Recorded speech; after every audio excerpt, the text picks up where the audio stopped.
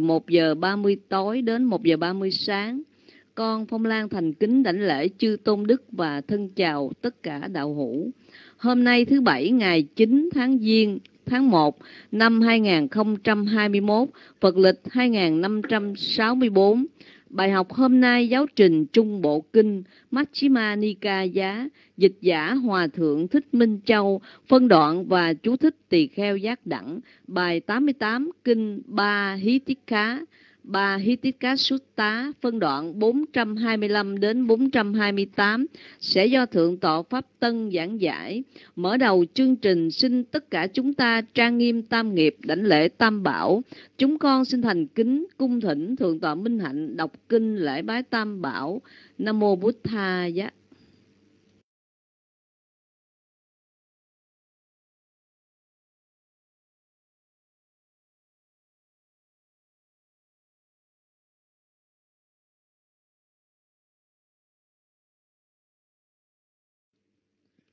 Dạ, Nam Mô Bút Tha dạ.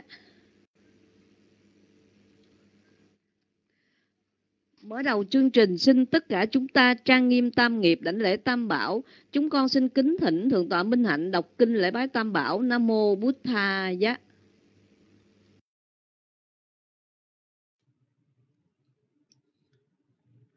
Nhất tâm định lệ Đức Như Lai, bậc ứng cúng, chánh biến tri, minh hành túc, thiện thể, thế gian dạy. Vô thượng điều ngự, thiên nhân sư, Phật, Thế Tôn. Nhất tâm đảnh lễ chánh pháp do Phật thiện thuyết, thiết thực hiện tiền, vượt ngoài thời gian, đến để nghiệm, hiểu năng hướng thượng, trí giả thân chứng Nhất tâm đảnh lễ chư tăng đệ tử Thế Tôn, bậc diệu hạnh, trực hạnh, như lý hạnh, chân chánh hạnh, gồm bốn đôi tám vị đáng nhận lễ phẩm, tặng phẩm, tế phẩm, kính lễ là phước điền vô thượng trong đời. Nguyện cầu quý Đức Phật bảo, nguyện cầu quý Đức Pháp bảo, nguyện cầu quý Đức Tăng bảo, xin Tam bảo gia hộ ngăn ngừa mọi tai ương, những hiện tượng bất tường, những mộng mị sâu xa, những nghịch duyên trở ngại thái đều mau tan biến. Nguyện muôn loài chúng sanh, người khổ xin hết khổ, người sợ hết sợ hãi, người sầu hết sầu bi. Biết cho với niềm tin, biết hỗ trì giới hạnh, biết là tru trong thiền. Chữ thiên đã văn tập, xin tùy hỷ phước lành được các tường như ý, rồi phản hồi thiên sứ chư toàn giác đại lực chư độc giác đại lực thinh văn giác đại lực nguyện tổng trì uy đức cầu phúc lành phát sanh Dạ, chúng con kính tri ân Thượng tọa Minh Hạnh. Alo.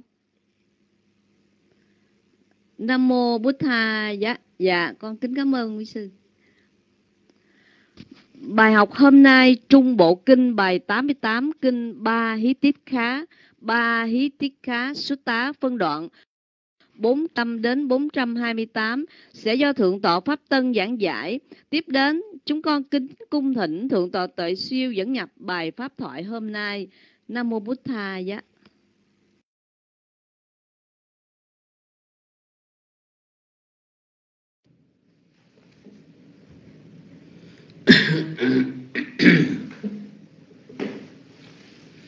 Nam mô Bụt Thầy cha. Kính lễ Đức Phật, kính lễ giáo pháp, kính lễ chư Thịnh văn đệ tử Phật.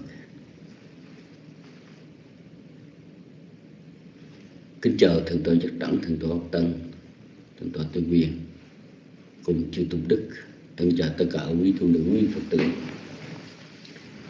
Hôm nay chúng ta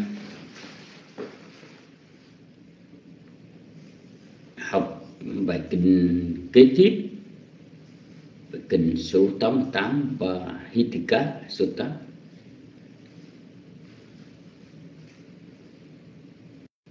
bài Hitika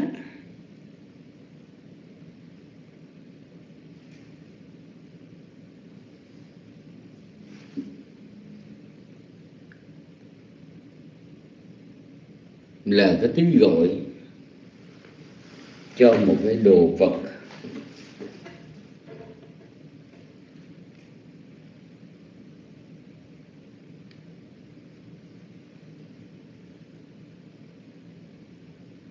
mà được ờ, nhập từ ở ngoài vào. Và chúng ta dùng cái từ gọi là ngoại nhập. Chữ pahi chẳng hạn như chữ pahitha hay pahira nó đều là gọi là ngoại ở ngoài. Sở dĩ tên là kinh gọi là ngoại nhập là chỉ cho cái tấm vải ngoại nhập của Pasenadi sau khi được nghe tôn giả Ananda trả lời những câu hỏi của Đức Vua đưa ra về Đức Thế Tôn và tôn giả Ananda. Ngài đã trình bày một cách khéo léo là một thị giả của Đức Phật. Là đệ tử trung kiên, không phải ngài Ananda, mà ngài luôn luôn bưng bít và biện hộ bao che cho thầy của mình về cái vụ mà ngoại đạo bướng thuê một kiều nữ tên gọi Sundari.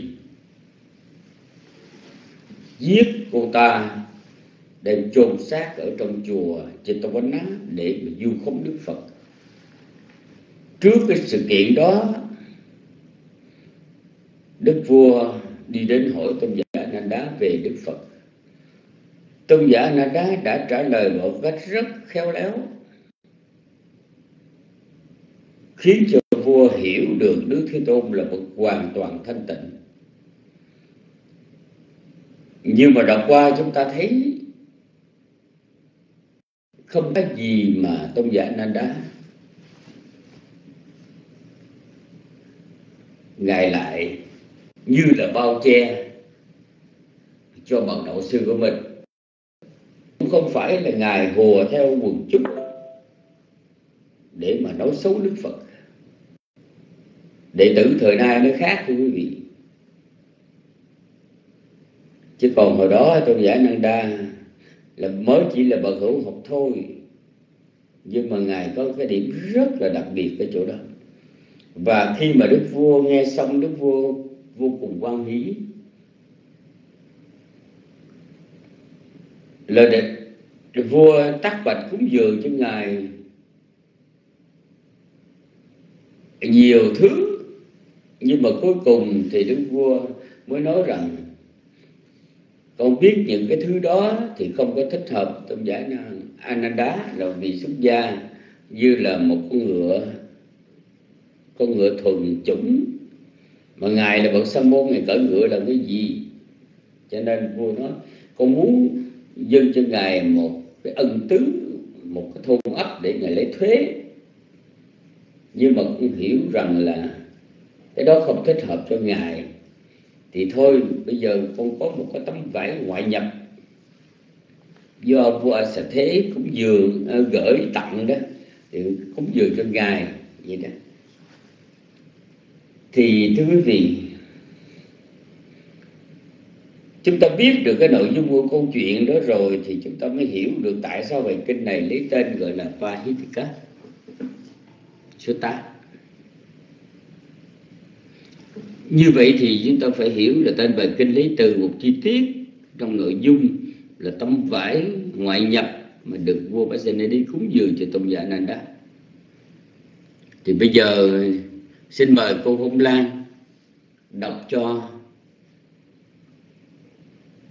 chánh kinh rồi sau đó xin cung thỉnh thượng tổ Tân vị giảng sư trong ngày hôm nay sẽ thuyết giảng bài học này Nam Mô Bích Thầy Chúng con kính tri ân Thượng tọa tuệ Siêu. Dạ, Nam Mô bổn thầy Dạ. Alo. Dạ, cảm ơn quý sư. Bài 88 Kinh Ba Hí Tiết Cá, Ba Hí Tiết Cá Sút Tá, phân đoạn 425 đến 428. Ba Hí Tiết Cá là tấm vải gửi đến từ xứ Má Ganh Thá như một tặng phẩm giữa các vị vua. Loại vải này ngày nay được gọi tắt là vải batik, làm toàn cô tông, mặt nhẹ, mát, bền. Tên bài kinh lấy từ một chi tiết trong nội dung là tấm vải được vua Basenadi cúng dường tôn giả Ananda. Kinh này ghi lại cuộc đàm luận giữa vua Basenadi và vị thị giả Đức Phật giữa lúc có sự cố một kiều nữ tên Sudari bị ngoại đạo dùng để vu cáo Đức Phật bằng cách cho người này thường lui tới kỳ viên tịnh xá một thời gian rồi giết đi, sau đó đem chôn xác gần chùa. Vua Basenadi ra lệnh điều tra sự việc. Cuối cùng mọi thứ được đưa ra ánh sáng. Trong cuộc đàm luận, nhà vua đã hỏi về sở hành của Đức Phật. Những gì được tôn giả Ananda trả lời khiến nhà vua thỏa mãn. 425. Cuộc gặp mặt giữa đường Vua Bhasenadi Ba Tư Nặc gặp tôn giả Ananda, thị giả của Đức Phật giữa đường. Nhưng trước tại Savatthi có một sự việc liên quan tới Đức Phật nên nhà vua muốn trực hỏi tôn giả Ananda. Kinh văn. Như vậy tôi nghe, một thời Thế Tôn ở Savatthi Chetawana tại tịnh xá ông Anatha Bindika cấp cô độc. Rồi tôn giả Ananda vào buổi sáng đắp y, cầm y bát đi vào Sawathi để thức thực. Đi khất thực ở Sawathi xong, sau bữa ăn trên con đường khất thực trở về, tôn giả đi đến lâu đài Pupparama, Migarama Tú, Đông Viên Lộc Mẫu, giảng đường để nghỉ ngơi. Lúc bấy giờ, vua Basenadi nước Cô Xá Lá cưỡi trên con voi E Kapundarika và đi ra khỏi thành Sawathi trong buổi sáng sớm. Vua Bhasenadi nước Kosala thấy tôn giả Ananda từ xa đi đến, thấy vậy liền nói với vị đại thần Siriwatha. Vị tôn giả ấy này Siriwatha, phải là Ananda không? Thưa phải, tâu đại vương, tôn giả ấy là Ananda. Rồi vua Basenadi nước Kosala nói với một người khác, này người kia hãy đi đến tôn giả Ananda. Sau khi đến, nhân danh ta cúi đầu đảnh lễ chân tôn giả Ananda. Rồi thưa như sau, thưa tôn giả, nếu tôn giả Ananda không có công việc gì phải làm gấp, thưa tôn giả, mong tôn giả hãy vì lòng từ chờ đợi một lát. Thưa vân tâu đại vương, Người ấy vâng đáp vua Besanadi Suko Sala đi đến tôn giả Ananda. Sau khi đến đảnh lễ tôn giả Ananda rồi đứng một bên. Đứng một bên, người ấy thưa với tôn giả Ananda. Thưa tôn giả vua Basenadi trước cô Sala cúi đầu đảnh lễ chân tôn giả Ananda và thưa như sau, thưa tôn giả, nếu tôn giả Ananda không có công việc gì phải làm gấp, thưa tôn giả, mong tôn giả hãy vì lòng từ chờ đợi một lát tôn giả Ananda im lặng nhận lời. Rồi tôn giả Ananda đi đến bờ sông Achirawati. Sau khi đến liền ngồi xuống trên chỗ đã đột soạn sẵn. Dưới một gốc cây rồi vua Basenadi nước cô Sa Lá cưỡi voi cho đến chỗ nào có thể đi voi được rồi xuống voi đi bộ đến chỗ tôn giả Ananda. Sau khi đến đảnh lễ tôn giả Ananda rồi đứng một bên, đứng một bên vua Bhasenadi nước Kosala thưa với tôn giả Ananda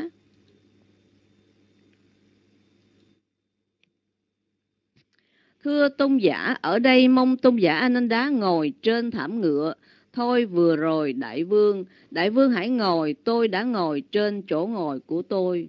426, 426, câu hỏi về sở hành của Đức Phật.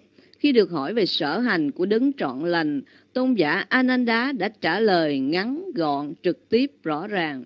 Kinh văn, vua Basenadi nước cô Sa Lá ngồi trên chỗ ngồi đã soạn sẵn.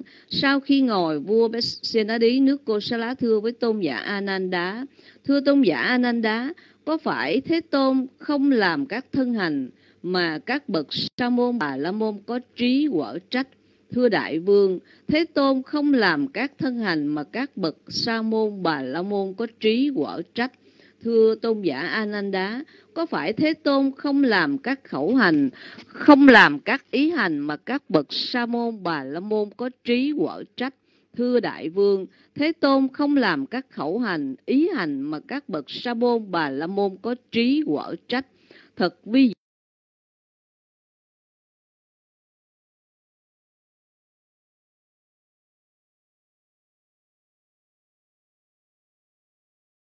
Diệu Thái nói lên một cách đầy đủ trong câu trả lời, câu hỏi. Thưa tôn giả, khi người ngu si thiếu kinh nghiệm tán thán hay hủy bán những người khác mà không chứng nghiệm và suy xét thì chúng tôi không y cứ vào đấy mà xem như là lỗi cây. Nhưng thưa tôn giả, khi người có trí, có kinh nghiệm tán thán hay hủy bán những người khác có chứng nghiệm và suy xét thì chúng tôi y cứ vào đấy và xem như là lỗi cây. Nhưng thưa tôn giả Ananda, thế nào là thân hành mà các vị sa môn bà la môn có trí quở trách? Thưa đại vương, bất cứ thân hành gì bất thiện. Thưa tôn giả, thế nào là thân hành bất thiện? Thưa đại vương, bất cứ thân hành gì có tội. Thưa tôn giả, thế nào là thân hành có tội? Thưa đại vương, bất cứ thân hành gì có hại. Thưa tôn giả, thế nào là thân hành có hại? Thưa đại vương, bất cứ thân hành nào có khổ báo, thưa đại, thưa tôn giả, thế nào là thân hành có khổ báo?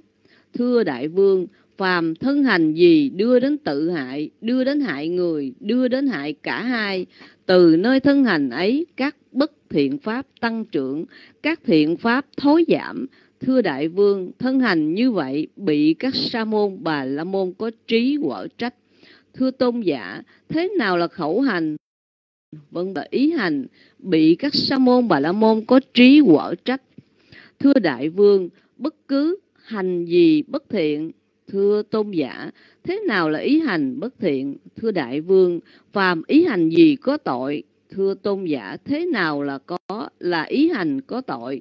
Thưa đại vương, phàm ý hành gì có hại, thưa tôn giả, thế nào là ý hành có hại?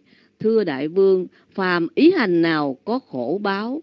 Thưa tôn giả, thế nào là ý hành có khổ báo?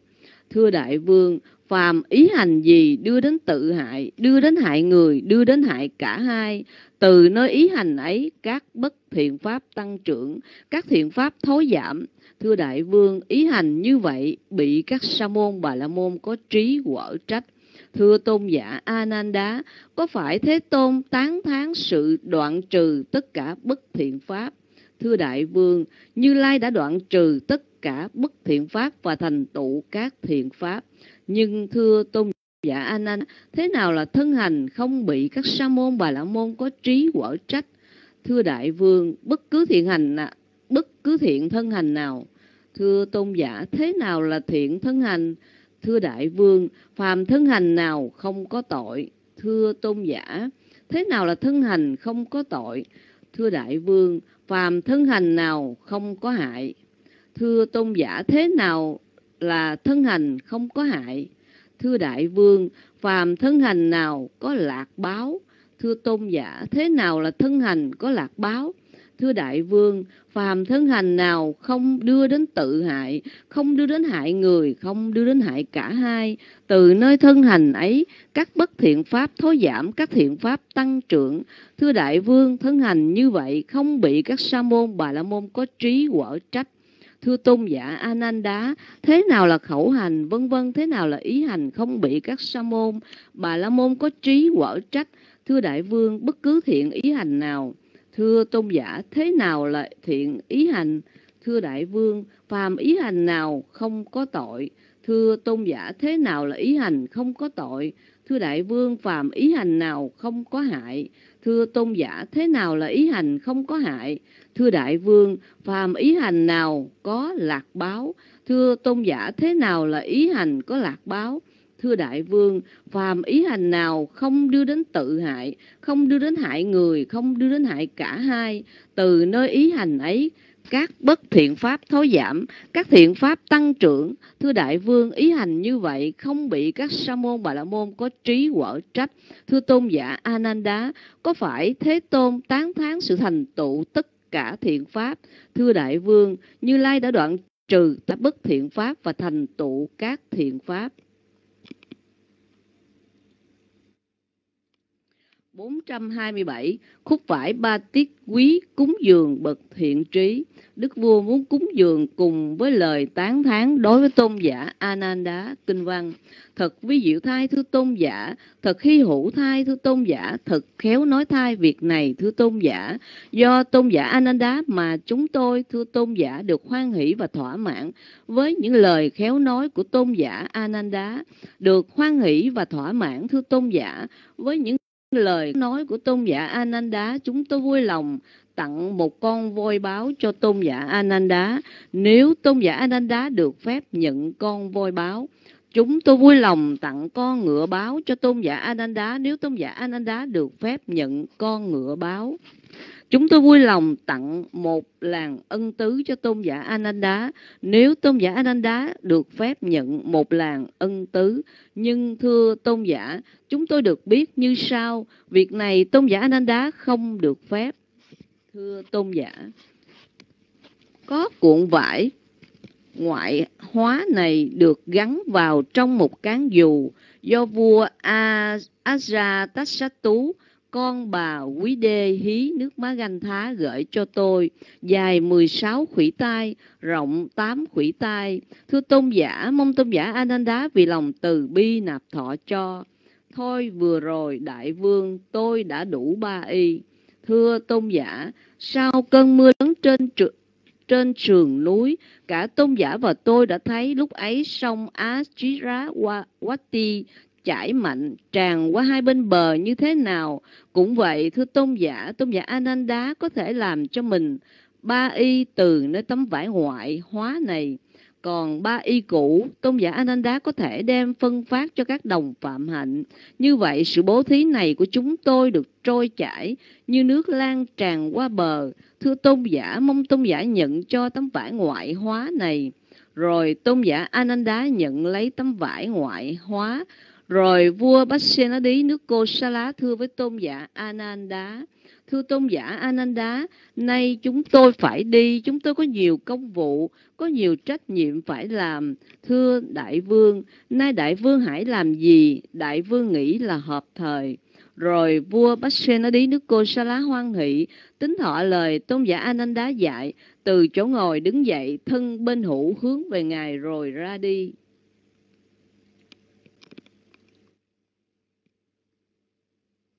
428 lời khen của Đức Phật được nghe thuật lại cuộc gặp gỡ Đức Phật tán thán nhà vua và tôn giả Ananda kinh văn.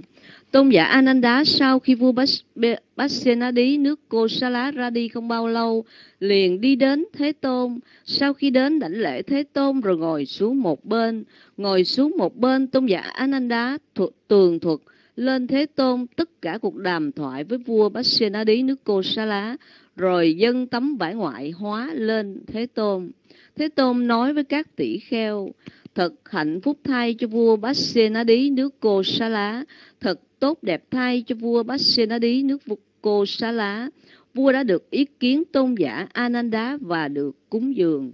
Thế Tôn thuyết giảng như vậy, các tỷ kheo hoan hỷ hoan hỷ tính thọ lời Thế Tôn dạy. Dịch giả Hòa Thượng Thích Minh Châu phân đoạn và chú thích tỳ kheo giác đẳng. Dạ, con đã đọc xong phần bài học. Chúng con xin được kính cung thỉnh Thượng tọa Pháp Tân giảng giải bài kinh vừa đọc. Nam Mô Bút Tha dạ. Dạ, Nam Mô Bút Tha dạ. Nam Mô Tham Ma dạ. Nam Mô Sang Kha dạ. Con kính đảnh lễ ân Đức à, Tam Bảo, Đức Phật, Giáo Pháp và Chư Tăng kính đảnh lễ thượng tọa tề siêu thượng tọa giác đăng thượng tọa tề quyền thượng tọa minh hạnh để đức tề tri uh, cùng chư tăng. Kính chào quý cô tu nữ và thân chào quý thiện nam tín nữ. Cảm ơn uh, quý vị cho biết đã nghe rõ. Khi nãy giờ thì nghe đọc không được không rõ. Tới cuối cùng thì nghe thấy cái dòng chat chat lên là biết là đọc xong rồi. Cho nên là chúng tôi ờ, bây giờ bắt đầu giảng. Ờ, sự thật ra đọc thì nghe không có được. Đức quảng đức quảng. Quý vị có nghe rõ không à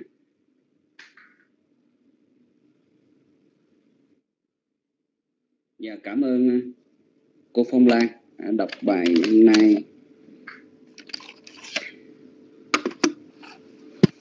À, kính bạch chư tăng.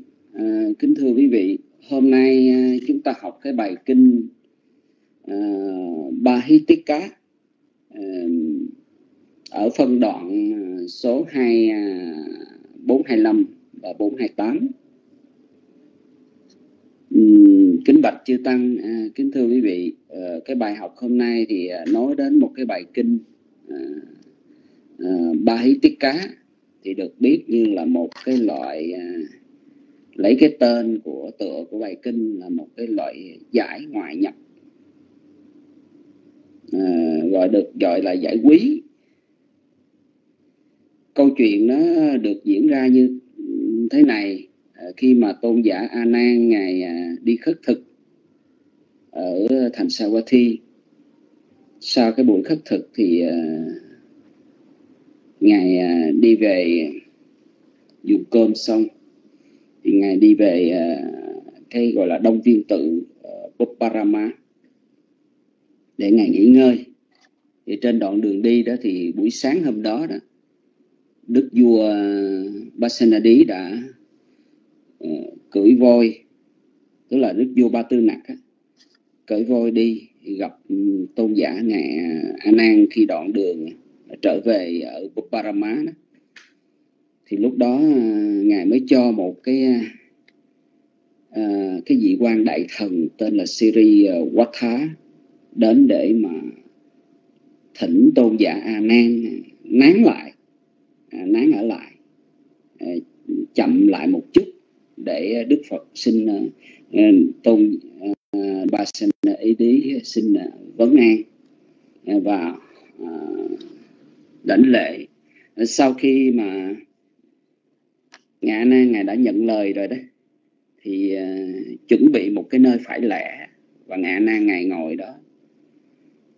Thì uh, đức vua đến để gặp đức uh, ngài Nan để mà cái điều thứ nhất á, là câu chuyện nó được uh, xảy ra đó là uh, trùng vào một cái dịp uh, cái cái sự cái cái sự cố cái sự cố xảy ra đó là ngoại đạo cho cái um, cái người phụ nữ uh, gọi là một kiều nữ, tức là một cái cái người phụ nữ đẹp của ngoại đạo đó uh, thường ngày tới lui ở chùa Kỳ Viên, nơi Đức Phật ở. Và um, chúng ta biết đó là vào cái thời điểm này đó thì uh, phải nói là Phật giáo rất là hưng thịnh được cái sự ờ, ủng hộ của vua chúa, quan quân cho đến những cái người bình dân trong xã hội đó. Người ta ủng hộ Phật giáo rất là nhiều và hướng đến Đức Phật ờ, và chư tăng rất là nhiều. Và về để đó ngoại đạo mới ờ, đem cái lòng mà ganh tị. Cho nên tìm cách này, cách nọ để hãm hại Đức Phật. Cho nên là cho một cái cái, một cái người phụ nữ đẹp này nè tên là Sundari. À, lân la thường xuyên đến chùa. Và sau một thời gian thì à, họ lại ra tay sát hại cái người phụ nữ này. À, cái một kiều nữ này một cái người phụ nữ đẹp này. Và họ du khống cho Đức Phật đã sát hại. Thì à, nó trong cái phạm vi của của vua Ba Tư Nặng cho nên vua ba tư nặc ờ, sẽ cho những cái người điều tra những cái người vị quan à, sẽ điều tra cái sự việc đó như thế nào. Cuối cùng dở lẽ ra thì ờ,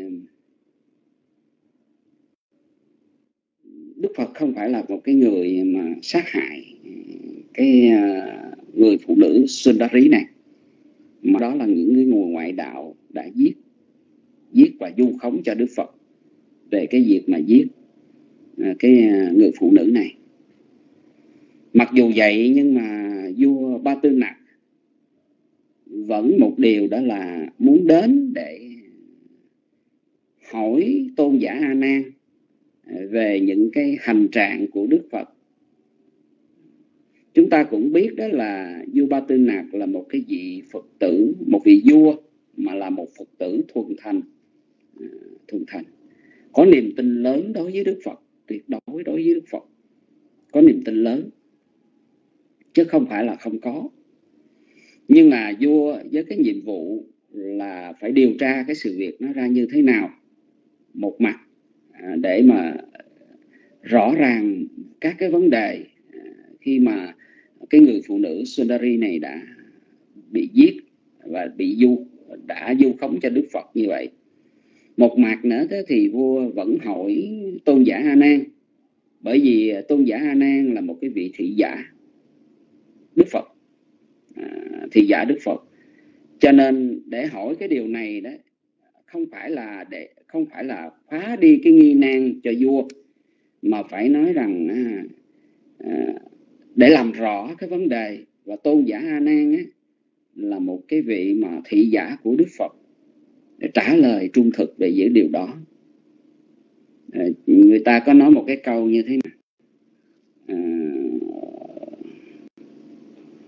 À, ở trường đồ tri mã lực à, cũ thức bậc hiền nhân đó có nghĩa là ngựa đường đường dài mới biết con ngựa nó hay. Và ở với cái người nào thì mới biết được là cái người đó là người hiền như thế nào người đó có cái đức tính tốt hay là xấu như thế nào thì quả thật như vậy. Đối với ngạ nan thì à, chúng ta biết là ngạ nan trước khi đức phật ngài tịch diệt thì ngạ nan mới chứng quả tu đầu quờ thì cái điều này đó là một vị thánh mà tu đầu quờ thì có cái niềm tin tuyệt đối đối với đức phật. Không nói. Nhưng mà để rồi à, vua ba tư nặc để hỏi tôn giả a nan để trả lời về những cái cái việc cái hành vi của đức phật như thế nào thì ngài được ngài a nan ngài trả lời đó là đối với cái hành vi của đức phật đó thì à, đức thế tôn ngài à, có à, à, có thân hành tốt đẹp khẩu hành tốt đẹp và ý hành tốt đẹp.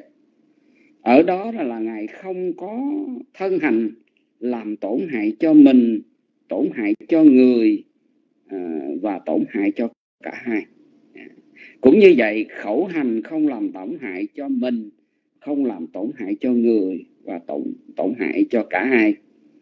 Ý hành cũng vậy không làm tổn hại cho mình không làm tổn hại cho người và không làm tổn hại cho cả hai. À, chúng ta thấy ở đây. Khi mà ngạ nan à, trả lời như vậy đó để thấy rằng à, bởi vì à, một điều đó một đức phật là một vị à, chánh đẳng chánh giác. Ngài xuất hiện ở đời và ngài đã đoạn tận phiền não hoàn toàn. Về thân hành cũng thanh tịnh, khẩu hành cũng thanh tịnh và ý ý hành cũng thanh tịnh. Như vậy thì thân là không không làm nào. Khi mà ngoại đạo đã du khống cho Đức Phật à, Đức Phật giết à, một cái người phụ nữ đẹp tên là Sundari à, Sundari cho nên là khi mà ngã nan trả lời là Đức Phật có cái thân hành tốt đẹp thân hành thanh tịnh mà điều này đó không phải chỉ ngã nan là một cái vị thị giả mới trả lời những điều đó qua những gì đó thì những vị đệ tử của Đức Phật đã thấy rõ, biết rõ những điều đó. Ừ. Cho đến là chúng ta thấy rằng đó là chúng ta thấy rằng là kinh ghi lại rằng là ma vương á, là một cái vị ở cõi trời tha hóa tự tại.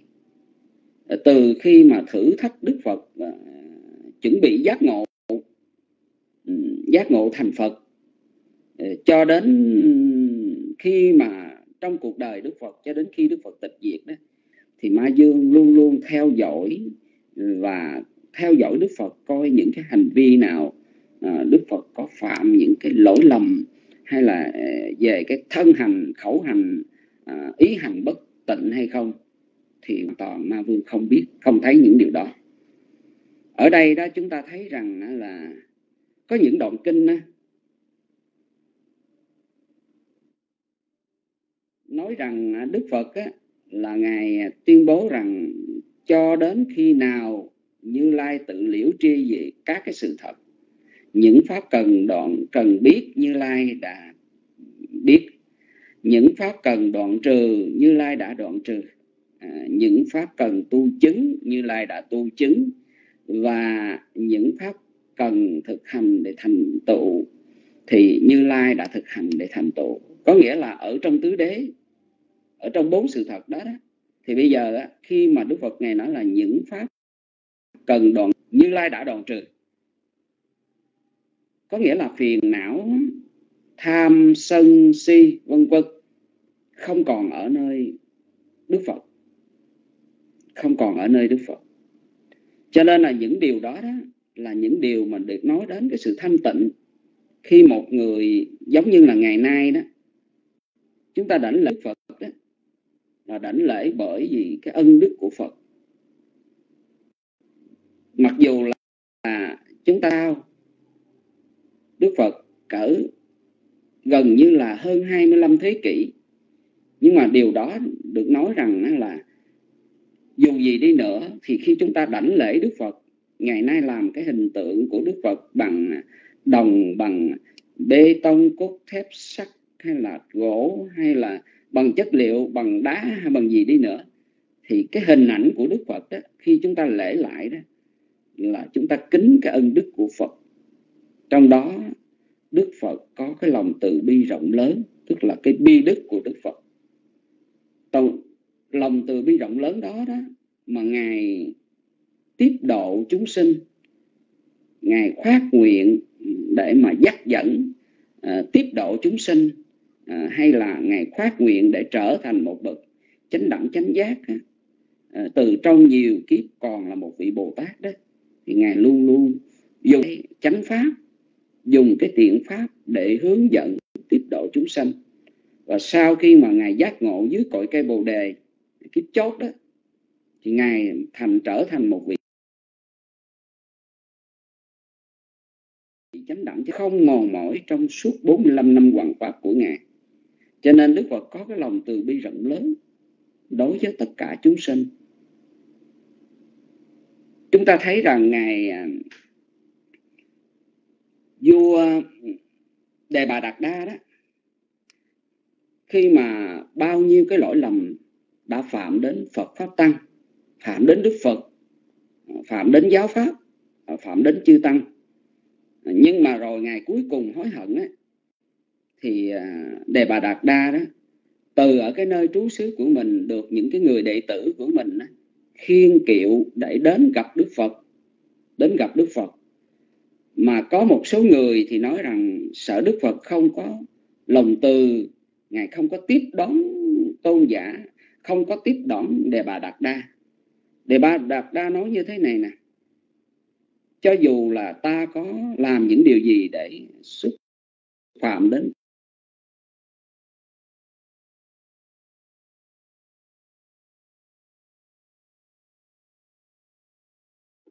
nên là đức phật luôn luôn có cái bi đức đó. Thế thứ hai à, tỉnh đức tức là tòa.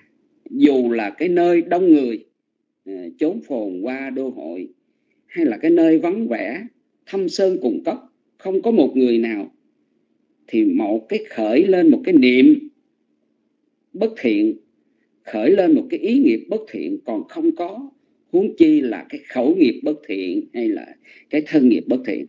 Cho nên ở đây đó là đức phật có cái lòng tình đức. Mà điều đó nói đến cái việc gì? Cái sự đoạn trừ phiền não của ngài. Và cái thứ ba nữa là ngài có cái trí đức. Cho nên là mình uh, ngài hiểu biết được những cái sự vận hành của các pháp. Về các các pháp mà tu tập để tiến bộ hướng đến sự giác ngộ pháp đưa đến thối đọ khổ đau cho chúng sinh những cái sự vận hành của cái thế giới hữu tình và ngay cả những cái sự vận hành thay đổi của cái thế giới vô tình. Cái thế giới vô tình ở đây đó là muốn nói là đất nước ló quả địa cầu những cái sự vận hành ở các cái cảnh giới các cái cõi là như vậy. Thì ở đây muốn nói Đức Phật có cái ba cái đức đó. Cho nên khi mà một người đảnh lễ Đức Phật á, đánh lễ bởi cái đức đó đánh lễ bởi vì Đức Phật có bi đức có trí đức và có tịnh đức. Trở lại khi mà ngài A Nan ngài ngài ngài, ngài nói với lại uh, Ba Tư Nặc á uh, Ba Senadi đó rằng Đức Phật có một cái thân hành được tốt đẹp khẩu hành được tốt đẹp và ý hành được tốt đẹp.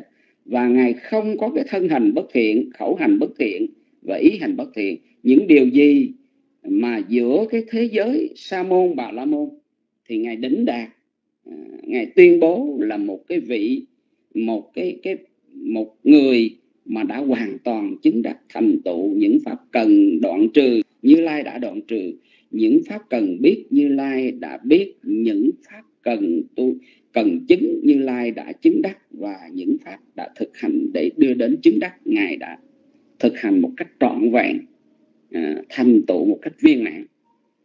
Cho nên á, khi mà ngài tôn giả a nan ngài trả lời à, cho vua ba tư nặc biết về những cái hành vi của đức phật như vậy tức là có thân hành thanh tịnh khẩu hành thanh tịnh và ý hành thanh tịnh như vậy thì à, cái việc mà à, cái điều gì mà đem đến tổn hại chúng sinh tổn hại cho mình tổn hại cho ngài à, tổn hại cho người ngài không làm. Ngài không có cái chuyện đó à, cả cái ý nghiệp khẩu nghiệp và ý nghiệp vậy. Cái gì mà đưa đến tội lỗi thì không có. À, không có.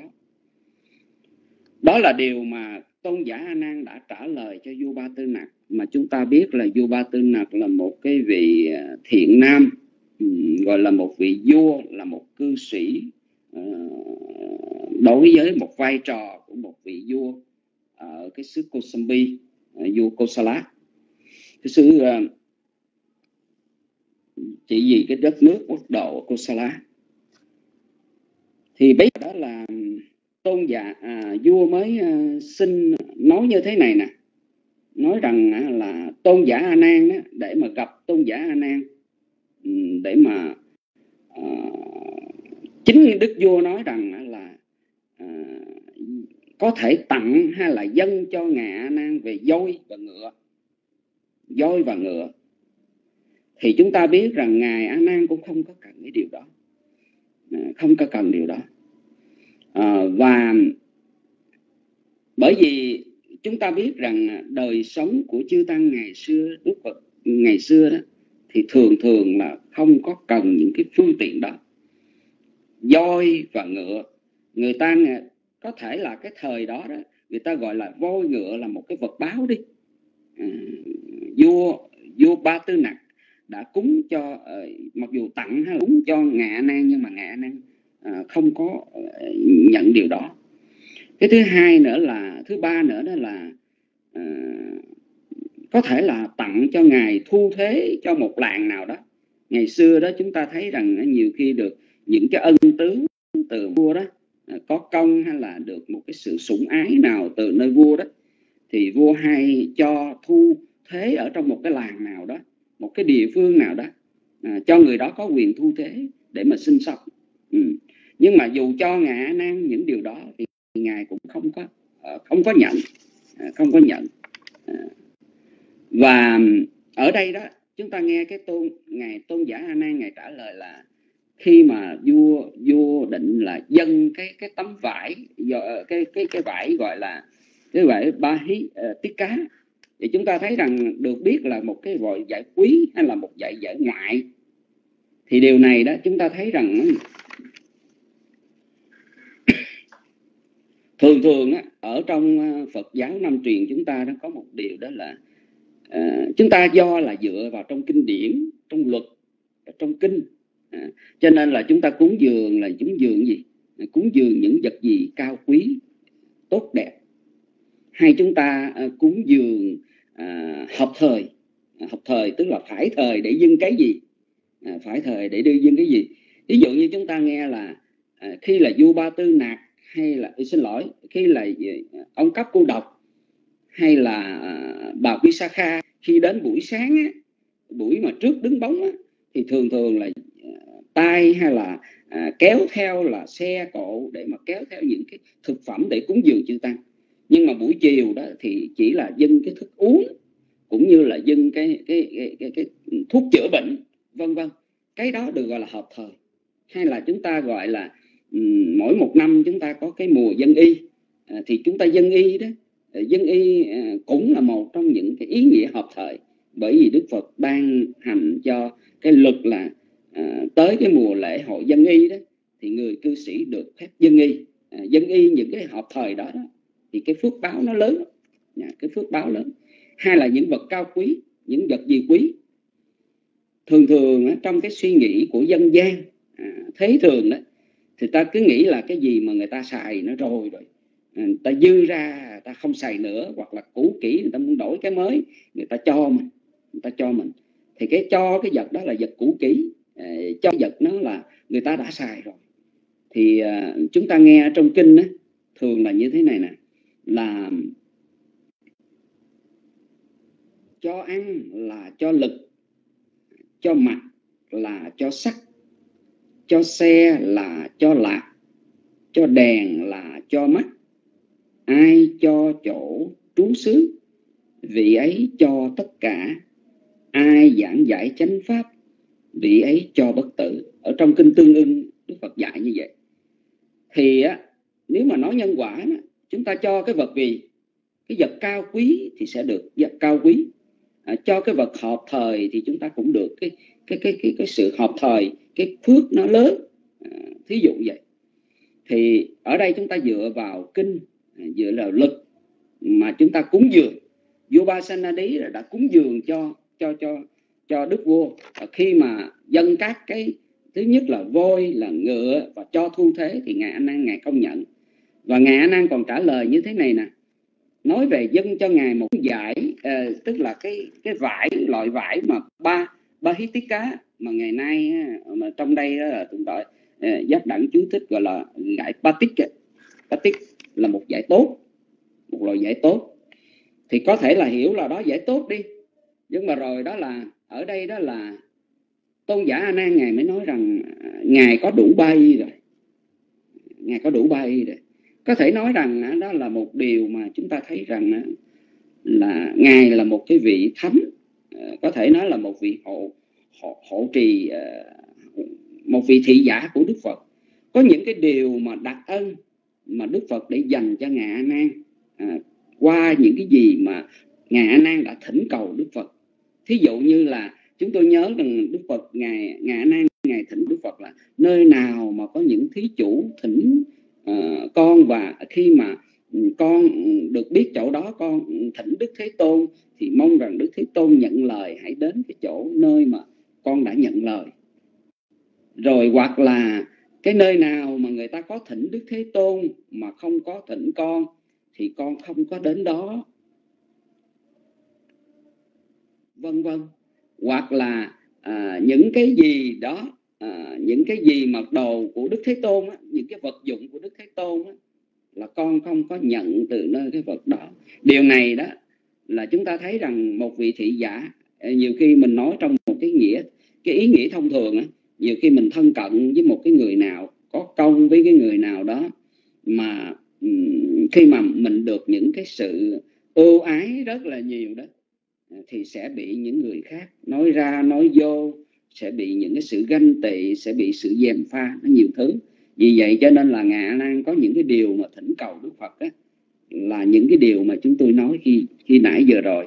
À, thì ở đây đó có thể nói rằng ngạ nan ngài là một cái vị mà ngài nói rằng là ngài được đầy đủ tam y tức là từ ở cái y gọi là sankati giá tức là sang tăng nhà lê và cái y gọi là uttara ừ, uttara tức là cái y vai trái à, và cái y thứ ba đó là y nội antara wasaka thì đó là những cái y gọi là tam y gọi là tam y thì ngài đã đủ rồi. À, thì sau đó thì vua vua mới mới mới thưa với lại ngài an nan như thế này. Có thể rằng à, ngài nhận cái vật này ngài phân phát cúng dường lại cho những vị đồng phạm hạnh. Ừ và sau đó thì ngài a nan ngài nhận. Từ cái việc mà vua ba tư nặc á, yêu cầu ừ, yêu cầu với ngài a nan á, nếu mà ngài à, không nhận vật này mà à, ngài không ngài đầy đủ tam y rồi đó thì ngài nên cúng dường cái cái cái vải ba uh, ba hí tí cá này đó à, và nên cúng dường đến cho những vị đồng phạm hạnh uh, những vị đồng phạm hạnh thì ngài a nan sau đó thì ngài đã nhận cái vật đó. Thì ở đây chúng tôi muốn nói rằng uh, một điều đó là khi mà những cái yêu cầu của vua ba tư nặc à, vua ba tư nặc xin cúng dường à, cúng cho ngạ nan về voi ngựa voi ví ngựa ví và cho thu thuế ở một làng ấy, thì ngạ nan đều từ chối hết đều từ chối hết. Cái thứ ba nữa là khi mà nói đến dân miếng giải mà à, gọi là y mà gọi miếng vải mà à, ba hít tí cá này gọi là vải quý đó thì ngạ nan ngài bảo là ngày đầy đủ tam y rồi. Ừ. Sau đó thì à, vua mới yêu cầu ngạ nan hãy nhận điều đó phân phát cúng dường lại cho cho những vị độc phạm hạnh. Điều này đó có thể nói rằng đó là đối với ngạ nan á, thì ngài là một cái vị có sự tri túc trong đó. Và những gì cần thiết thì ngài nhận cái điều đó. Và đối với lại vua ba tư nặc á, là một cái vị mà là một vị phật tử thuần thành. Dù sao đi nữa thì cũng nghĩ đến cái cái lợi lạc cái sự an lạc của những vị đồng phạm hạnh tức là những vị tỳ kheo đó những vị tỳ kheo. Có thể nói rằng ở đây đó chúng ta thấy rằng khi cúng dường cho ngài nan hay là cúng dường cho những vị thánh khác hay là cho đức phật cũng vậy. À, giống như là chúng ta nghe là bà vua vua bà Mahapachakutami đó được dệt cái tấm vải cái y quý rồi cúng dường cho Đức Phật. À, Đức Phật ngài ông nhận ngài bảo là cúng dường cho à, các vị khác rồi cuối cùng đó là cúng dường đến tăng chúng. Đó là cái sự cao quý nhất. Thì ở trong trường hợp này đó chúng ta thấy rằng khi mà vua ba tư nạt à, rất kính tôn kính Đức Phật và kính chư tăng à, quý trọng ngài A Nan à, kính trọng ngài a nan cho nên cúng cái tấm vải quý đó à, cái miếng vải quý đó. Nhưng mà rồi à, thì ngày cuối cùng đó thì vua ba tư nặc mới yêu cầu ngài a nan hãy cúng dường lại và chia sớt lại cho những vị đồng phạm hạnh. Có nghĩa là cúng dường đến tăng chúng cúng dường đến tăng chúng. Cho nên là khi mà nói đến cúng dường với tăng chúng là cúng dường cao thượng cúng dường phước báo thù thắng. Giống như chúng ta nghe ở trong một cái bài kinh gọi là cúng dường phân biệt thí cũng trung bộ kinh này nè. Thì đức phật ngài mới nói rằng là à, như lai chưa tuyên bố cá nhân tuyển thí là phước thù thắng hơn tăng thí đó. Như vậy thì à, mình mình quý cái vị nào mình cúng thì cũng có phước. Nhưng mà khi chúng ta tác ý cúng dường đến với tăng chúng thì cái cái cái đó đó gọi là cúng dường gọi là đắc khi na đa na cúng dường cao quý. Cúng dường với những với tăng chúng là những bậc đồng hạnh thì cái phước đó rất là cao cao quý. Thì sau đó đó thì à, đức phật ngài mới đức phật ngài mới à, tán thán và tán thán vua và tôn giả a nan. À, tán thán điều này đó chúng ta thấy rằng là thứ nhất đó là tán thán tôn giả a nan. Bởi vì à, tôn giả a nan là một cái vị thị giả của đức phật. Khi mà à, được đức vua hỏi về những cái hành trạng của đức phật qua thân nghiệp, khẩu nghiệp và ý nghiệp, thì ngài a nan không phải là một người đệ tử để trả lời những điều đó. Đức phật là tốt đẹp, nhưng mà quả thật là đức phật là một cái vị hoàn toàn thanh tịnh hoàn toàn thanh tịnh. Qua những gì mà ngài a đã trả lời về ờ, cho vô ba tư nặc biết, những điều đó, về cái sự thanh tịnh của đức phật. Cái thứ hai nữa là tôn giả a nan có một cái sự tri túc. Tri túc vừa chừng ờ, vừa chừng ờ. cho nên trong kinh có thể nói rằng là một vị tỳ kheo có thi tri túc thiểu dục. Đó là một trong những cái đức tánh tốt, là một thiện pháp là một thiện pháp. Cho nên ngài nan khi mà ngài nói ngài đầy đủ tam y ngài không nhận điều đó. Đó là một trong những cái tri túc trong bốn cái món vật dụng mà một vị tỳ kheo cần có. Cần có cần có đó là y phục. Vật thực thực phẩm để nuôi sống. Cái thứ hai, thứ ba nữa là thuốc chữa bệnh. Thứ tư là cốc liêu sàn tọa. Là cái nơi ở à, vừa chừng à, vừa chừng. Như vậy à, đó là đức phật khen, tán thán về những cái hạnh của ngài a nan. Cái thứ hai nữa là ngài khen cũng như là ngài tán thán vua ba tư nặc. Là một cái vị vua, là một người cư sĩ hộ trì tam bảo hộ trì tam bảo. Cho nên là một cái vị mà hộ trì ở đây đó chúng ta thấy rằng nói về cái sự hộ trì đó cái thứ nhất là hộ trì về phương diện vật chất hộ trì về phương diện vật chất. Cho nên là chúng ta đọc ở trong kinh đó, ngoài vua ba tư nặc ra đó thì còn có những vị đàn tính khác như là vua à, ông cấp cô độc hay là bà quy sa kha khi nào mà đi đến chùa những cái thời điểm thích hợp thì cúng những cái vật thực thích hợp. Còn đến buổi chiều á, thì ngài à, cũng như là bà quy sa kha cúng dường thuốc chữa bệnh cũng như là thức uống cho chư tăng. Và chúng ta thấy rằng các cái ngôi chùa à, thời Đức Phật đó, thì phần hầu như là những cái người cư sĩ à, những cái người cư sĩ cắt khách thí dụ như vua chùa Kỳ Viên là do cấp cô độc à, chùa à, Đông Phương Tự Parama là do bà quý Sa Kha chẳng hạn à, vua Trúc Lâm là vua uh, vua Bimbisara chẳng hạn. Thì đó là những cái ngôi chùa mà do những người đàn những cái người cư sĩ uh, có vị thế ở xã hội thời đó từ là vua hay là những người trưởng giả uh, cúng dường uh, xây cất mặc dù là được uh, được ý kiến được uh, chỉ dẫn từ ở nơi các vị đệ tử của Đức Phật như là ngày Mục kiện Liên, ngày Xá Lợi Phất. Nhưng mà tự các cái vị cư sĩ đó bỏ ra những cái à, tài chính để mà xây những cái ngôi chùa đó. À, những cái ngôi chùa đó. Thì vậy hỗ trì tam bảo bằng cái tinh thần á, cái cái cái vật chất á, từ vật thực cho đến là cốc liêu của chư tăng rồi chùa chiền nơi mà chư tăng ở đó thì ờ, đó là điều là cái sự hỗ trì bằng vật chất của những người cư sĩ mà vô ba tư nặc đã làm những điều đó. Về phương diện tinh thần đó hỗ trì về phương diện tinh thần đó thì uh, vua là một cái vị giống như là chúng ta có đọc ở trong cái câu chuyện hay là trong kinh đó, à, bà Quy Sa Kha có một lần nọ một vị tỳ kheo ni đó thì xuất gia trong giáo pháp. Thì trước đây đó là có gia đình rồi đó là mang thai. Khi mà xuất gia gia vô ở trong giáo hội, đi đòn rồi một thời gian sau ờ, mang, có mang mang mang thai như vậy rồi sanh con á. Cho nên là những cái việc đó, bà sa ka à, sau khi đó bà Visakha điều tra mới biết ra là cái sự thật là cái vị tỳ kheo ni này đó là có gia đình trước đây và có mang trước đây.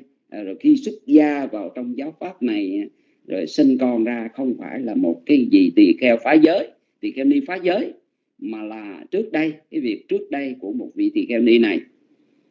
Thì ở đây đó, có thể nói rằng à, những cái việc mà nó liên quan với cái đời sống mà những vị này, như là vua vua vua ba Basanadi đó, vua ba tư nặc là một cái vị mà có thể nắm về pháp luật. Bởi vì vua à, có quyền à, và về pháp luật thì biết rõ những điều đó và mọi cái sự hỗ trì về tinh thần ờ, mà ở đây vua ba tư nặc à, vua ba tư vua ba tư nặc là một vị à, mà mình hiểu rằng đó là sự hỗ trì à, hỗ trì về tinh thần. Bởi vì dù gì mới khi mà điều tra rõ ra sự thật như vậy nhưng mà vẫn hỏi ngài a nan về những cái hạnh à, cái hành trạng của đức phật. Để rồi cái điều đó, đó cho một thấy rằng một cái tính khách quan à, khách quan về cái sự nhận định giống như chúng ta nghe ở trong kinh đó, là có hai thầy trò người học trò đi trước đi sau người thầy đi trước chê đức phật. À, rồi vị đọc trong kinh trường bộ vị thầy à, đi trước ngoại đạo thầy ngoại đạo vị thầy đi trước thì chê đức phật. À, rồi một cái vị học trò đi sau thì khen đức phật. Thì đức phật ngày nói là không có gì khen mà mình buồn à, mình vui. À, mình mình tự mãn. Cũng không phải gì chê mà mình buồn mình giận dữ. À, mà hãy xem coi cái điều đó đó. Ừ, à, cái điều mà nhìn lại chính mình à, coi coi coi mình có được tốt đẹp hay không. À, khi một người nào một cái khách quan nào đó và trình nhìn lại chính mình thì cái khách quan đó người ta nhận định nó đúng hơn. À, còn cái những người đệ tử khen hay là chê đó thì cái đó nó nó cũng chưa phải là hoàn toàn à, khách quan đâu. À, khách quan đâu. Thì ở đây đó cho chúng ta thấy rằng cái việc mà nhận định về hành trạng của Đức Phật à, không phải là chỉ có những người đệ tử Đức Phật nhận định Đức Phật là một vị tốt vị thầy cao cả vị tốt không? Mà ngay cả những cái người ngoại đạo có một số người vẫn nhận định Đức Phật à, xem như là một bậc đạo sư trên cuộc đời này. Vì vậy cho nên là Đức Phật á, có một cái cái, cái cái cái một trong những cái hồng danh của Đức Phật đó là là một vị mà mà uh, có đầy đủ minh và hạnh uh, tức là cả giới hạnh và các cái công hạnh của ngài đã thực hành để trở thành hay là trở thành Phật để trở thành giác một bậc giác ngộ hoàn toàn hay là cái sự hiểu hoàn toàn là như vậy. Hay là Đức Phật có cái hồng danh đó là là là là thầy của chư thiên và nhân loại à, tức là một bậc đạo sư à, chỉ đường à, dẫn lối cho thầy cho chư thiên và nhân loại mang lại cái sự lợi lạc cho đời cho thế giới này. Cho nên trong kinh tăng chi á, nói rằng một vị mà xuất hiện trên cuộc đời này mang lại an lạc cho đông mang lại an lạc cho đa số à, mang lại an lạc cho chư thiên và loài người vị ấy là ai? Vị ấy chính là như lai bậc chánh đẳng chánh giác. À, chúng ta thấy như vậy. Như vậy thì à, qua cái bài kinh này đó thì à, nói đến những cái điều liên quan đến là tôn giả a nan đi khất thực và được uh, uh, vua uh, vua ba tư nặc để mà diện kiến uh, rồi uh, hỏi về hành trạng của đức phật. Và được ngài a nan uh, trả lời về những cái hành trạng của đức phật là tốt đẹp về thân nghiệp tốt đẹp khẩu nghiệp tốt đẹp và ý nghiệp tốt đẹp ở trong đức phật ở trong cái thế giới chư thiên ma vương phạm thiên bà la môn này. À, ngài làm những điều gì nói những điều gì và suy nghĩ những điều gì thì bậc thiện trí không có quở trách. À, ngài không có làm những điều gì nói những điều gì và suy nghĩ những điều gì mà bậc thiện trí chê trách hết. À, là như vậy. Cái điều nữa đó là ở đây Ờ, khi mà vua ba tư nặc đã cúng dường cái miếng vải ờ, cái vải ba hít ờ, tiết, tiết cá này cúng dường đến những cái như cho ngạ a nan và cuối cùng thì cúng dường đến với những vị đồng phạm hạnh đó là cúng dường đến tăng chúng. Mặc dù là được sự quý trọng kính trọng từ nơi vua đức vua ba tư nặc như vậy nhưng mà rồi ngài a nan ngài không có nhận cái vật đó miếng vải đó mà ngài chỉ ngài chỉ uh, theo lời yêu cầu của của của của vua thì sẽ chia hay là phân phát cúng dường lại cho những vị đồng phạm hạnh tức là cúng dường đến tăng chúng.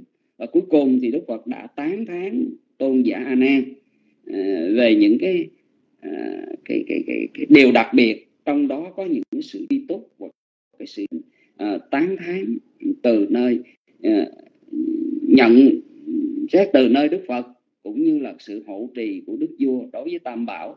Trong cái việc hộ trì về vật chất, cũng hộ trì về tinh thần của một vị một vị cư sĩ mà ừ, trong một cái vai trò của một nhà vua à, hộ trì tam bảo à, như vậy, thì chúng tôi xin được dứt lời ở đây. Để dành thời gian còn lại à, chư tăng sẽ chia sẻ để cho đại chúng chúng ta hiểu thêm, để được cái sự lợi lạc chúng tôi xin dứt lời ở đây. Trước khi dứt lời thì à, chúng con kính chúc chư tôn đức thân tâm an lạc. À, kính chúc chúng tôi kính chúc quý cô tu nữ quý phật tử luôn được sự an vui tiến hóa. Nam mô bút thầy giá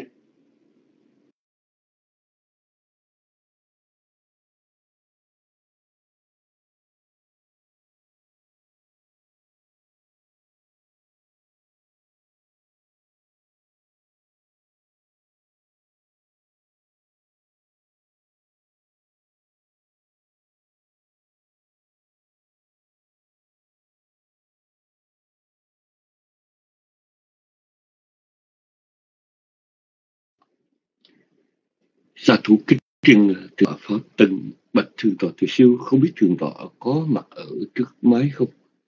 Nếu ờ, uh, thường tọa từ siêu đang có mặt ở trước máy xin thượng tọa quan hỷ trả lời cho cô thảo luận đầu tiên. Một lần nữa hỏi thường tọa từ siêu thường tọa có mặt ở trước máy không?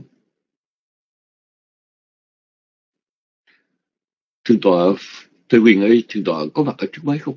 Nếu uh, thượng đội tư Quyền đang có mặt ở trước máy xin thượng tổ khoan hỷ ờ, trả lời cho câu thảo luận đầu tiên.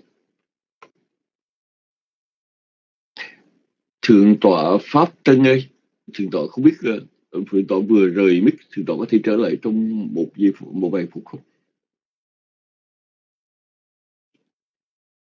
Một lần nữa xin, ô, oh, dạ thấy thượng tọa Tây Quyền rồi. Dạ, thượng tọa Tây Quyền ấy, uh, tôn giáo Đăng Đa có đưa ra năm cái chuẩn mực để chúng ta xác định đó là pháp bất thiện và ngược lại pháp thiện thì đầu tiên đó là một cái nghiệp bất thiện là nghiệp thiếu lành mạnh. Và nó khiến cho cái uh, tâm thức mình thiếu lành mạnh luôn. Hai là đáng quở trách bởi bậc thiện ký và dạ, vì bản chất xấu. Và ba là đem lại khổ báo. Có cái động lực bất thiện.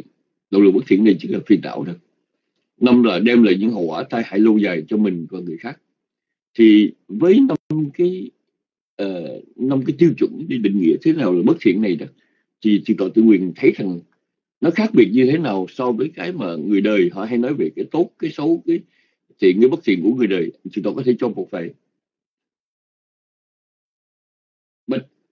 và ô quý vị thấy có trường tòa tuệ siêu hả? Giờ thỉnh thượng tọa tuệ siêu, ờ, xin lỗi thượng tọa tự quyền thỉnh thượng tọa siêu trả lời cho câu số 1. À, không biết thượng tọa tuệ siêu còn biết được không? Giờ quý vị chờ chúng tôi một chút nha.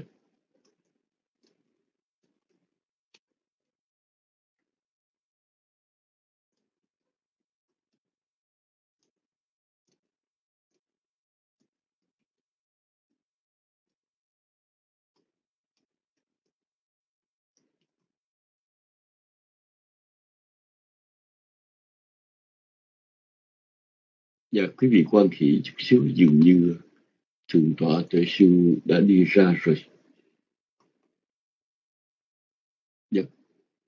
À, thực ra hai cái đường dây cáp của Việt Nam đang gặp vấn đề, quý vị. À, chúng tôi có đọc tin tức và trong thời gian này thì chư đăng sẽ có nhiều vấn đề lắm. Rất là may mắn là hôm nay thượng tọa Pháp Tân giảng được từ đầu chí cuối. Dạ, Ờ, rất là uh, là may mắn. Nhưng uh, uh, chúng ta chờ đợi trong giây lát để xem thượng tọa tôi siêu thấy thượng tọa trở lại. Không biết là thượng tọa có um, nghe được hay không? Cũng có nhiều trường hợp á, là uh, không không nghe được nhưng mà lại uh, lại nói được chứ quý vị. Dạ quý vị chờ chúng tôi một chút nha chúng tôi sẽ uh, yeah,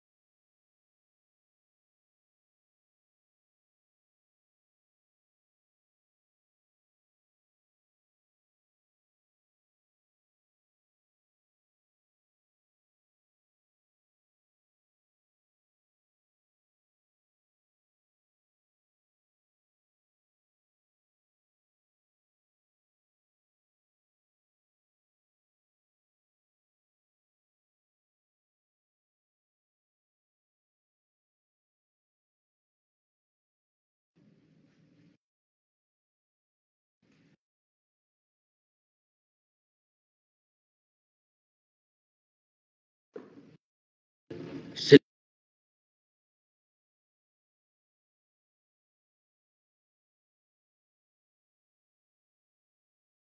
hỏi quý con nghe ồ.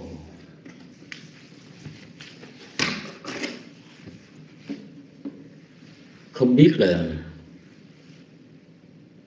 có phải thượng tọa giáo đẳng muốn hỏi chúng tôi cái câu hỏi thảo luận số 1 không ạ?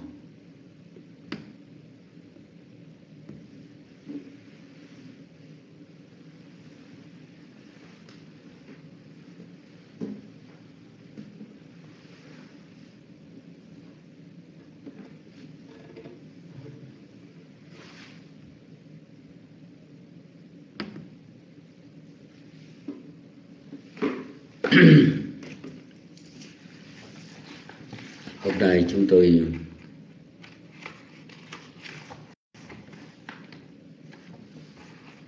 giống như là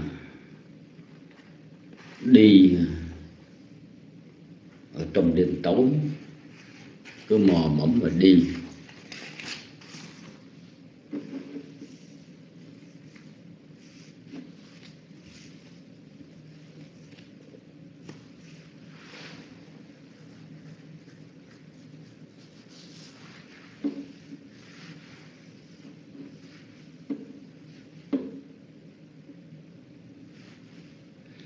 ở đây thưa quý vị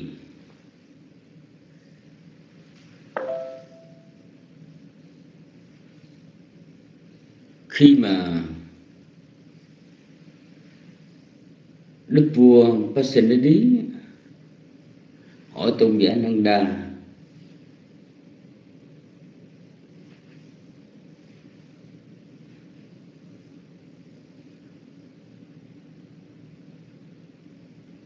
về thân hành khẩu hành ý hành. Không bị các sa môn và lâm môn có trí quở trách. Như thế nào? Được gọi là thân hành khẩu hành ý hành. Đó. Thì uh, tôn giả Nanda nói trước nhất cái thân hành khẩu hành ý hành đó. Nó là thiện. Mà thế nào là thiện? Thiện là không có tội. Thế nào là không có tội? Không có tội có nghĩa là không có thân hành, khẩu hành, ý hành không có hại. Mà thế nào là không có hại? Tức là có lạc báo, tức là có quả báo an vui.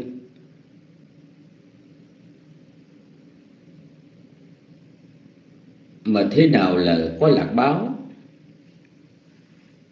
Tức là thân hành khẩu hành, ý hành nào không đưa đến tự hại, không đưa đến hại người, không đưa đến hại cả hai.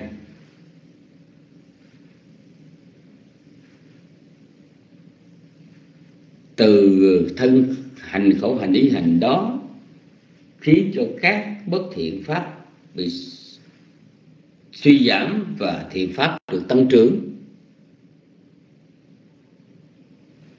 Thì ở đây, thưa quý vị, năm cái tiêu chuẩn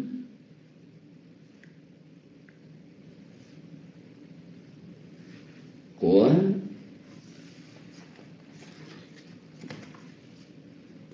nghiệp thiện là như vậy thì năm cái tiêu chuẩn của nghiệp ác thì nó cũng có tương tự.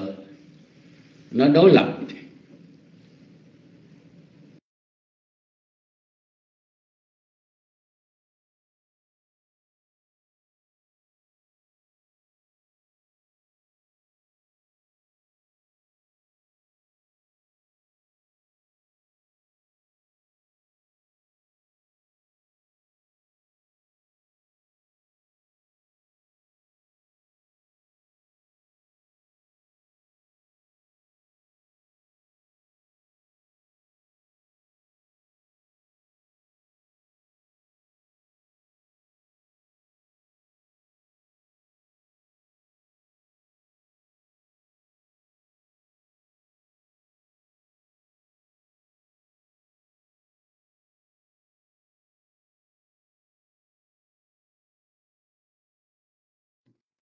Dạ con thỉnh Ngài cầm mic trở lại đạo tràng chúng con không còn nghe à.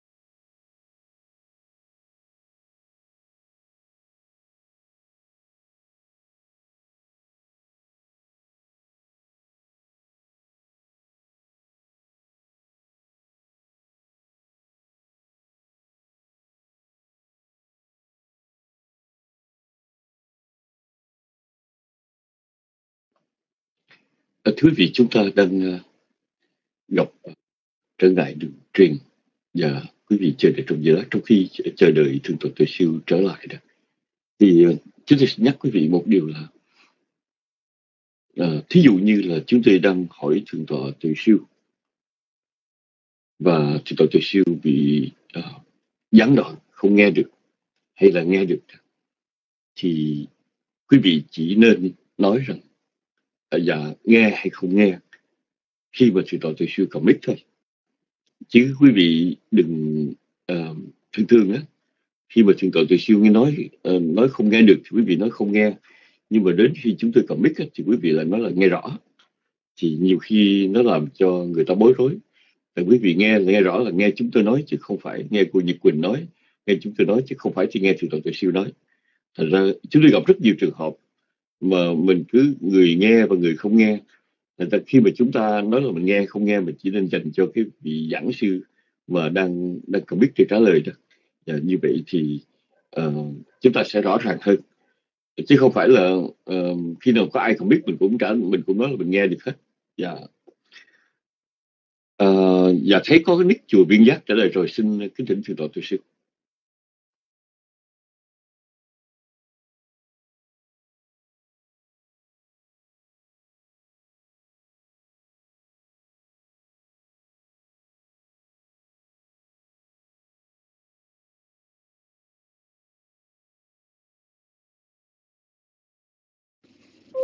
Dạ, dạ. Kính thỉnh sư phụ.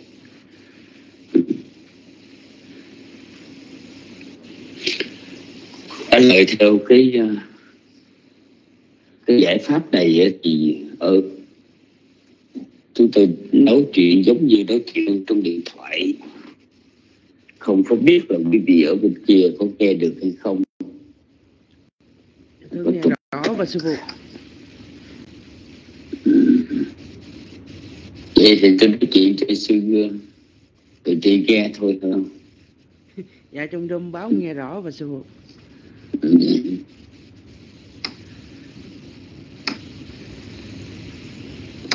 Cái câu số 1 cái câu số 1 tụi tôi gia đẳng trả lời xong chưa dạ thưa vẫn đợi sư phụ và sư phụ.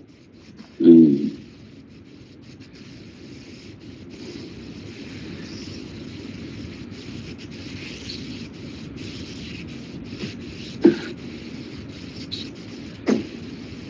cuộc thảo luận số 1 khi đãi chúng tôi có trình bày. Thì ờ,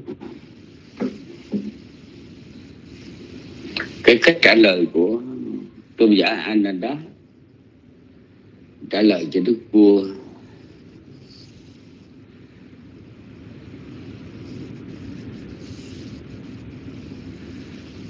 khiến cho người ta nghe mình phải chú ý.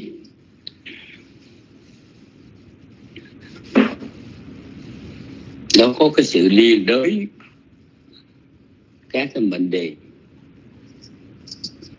Nó không giống như cái cách mà giải thích bình thường. Thí dụ như chúng ta nói, họ bị cho cái hành ác. Hay là cái hành động đáng khiển trách như thế nào nếu mà ngài trả lời, ngài nói đó là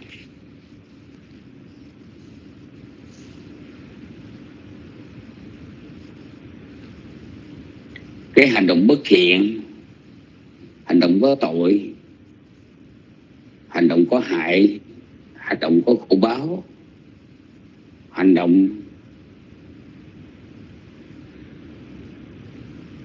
khiến cho bất thiện pháp, tăng trưởng bất thiện pháp bị thôi giảm. Nếu mà trả lời như vậy thì cái người nghe, nhiều khi họ quên cái chi pháp thì họ không có nhận thức được rõ ràng. Còn ở đây, cách của ngài trả lời đó, thì khi mà hỏi thế nào là hành động đáng bị thị trách đáng bị vỡ trách thì ngài trả lời, đó là bất cứ hành động gì bất thiện. Rồi khi được hỏi hành động nào là bất thiện, thì đó là cái hành động gì mà có tội gọi là bất thiện. Mà thế nào là hành động có tội? Hành động gì có hại? Như vậy gọi là có tội. Một thế nào hành động có hại? Từ đây nghĩa trả lời là cái hành động có khổ báo. Mà thế nào gọi là hành động có khổ báo? Đó là cái hành động.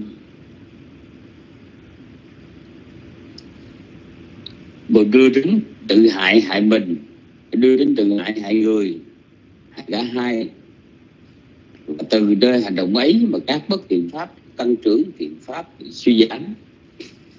Thì cái cách trả lời như vậy đó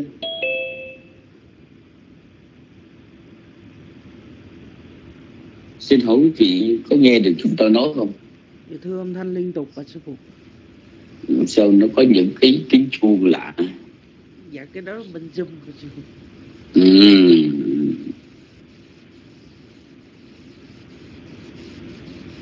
Thì ở đây khi mà trình bày về một vấn đề được hỏi, nó có nhiều cách để trả lời. Và cái cách trả lời của tôn giả Năng Đa, nó khác hơn cách trả lời bình thường. Là thay vì ngài nói thẳng một vấn đề mà có năm cái khía cạnh. Nhưng ở đây, ngài chỉ trả lời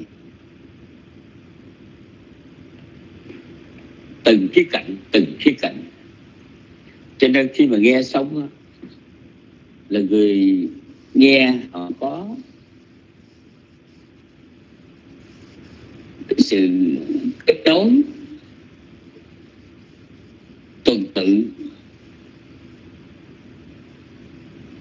giữa cái vấn đề này với vấn đề khác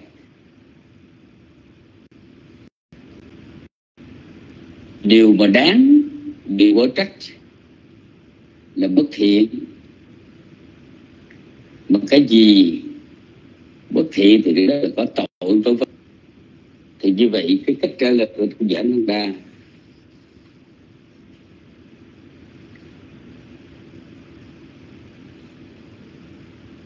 Rất là lý thú chúng tôi xin được trả lời cái câu hỏi của thượng tọa giáo đẳng qua cái câu thảo luận số 1 như vậy. kính thưa quý vị,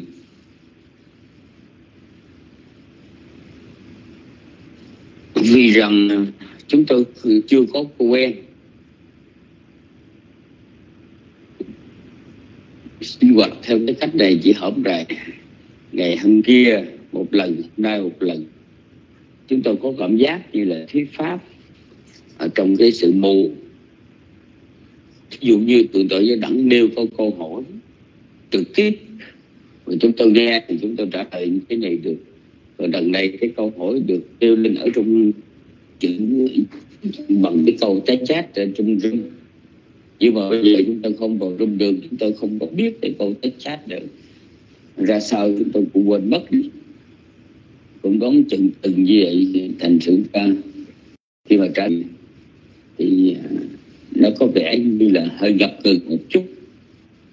Do đó các việc thông cảm giờ xin thỉnh thượng tọa gia cảm trở lại. Nó cũng có thầy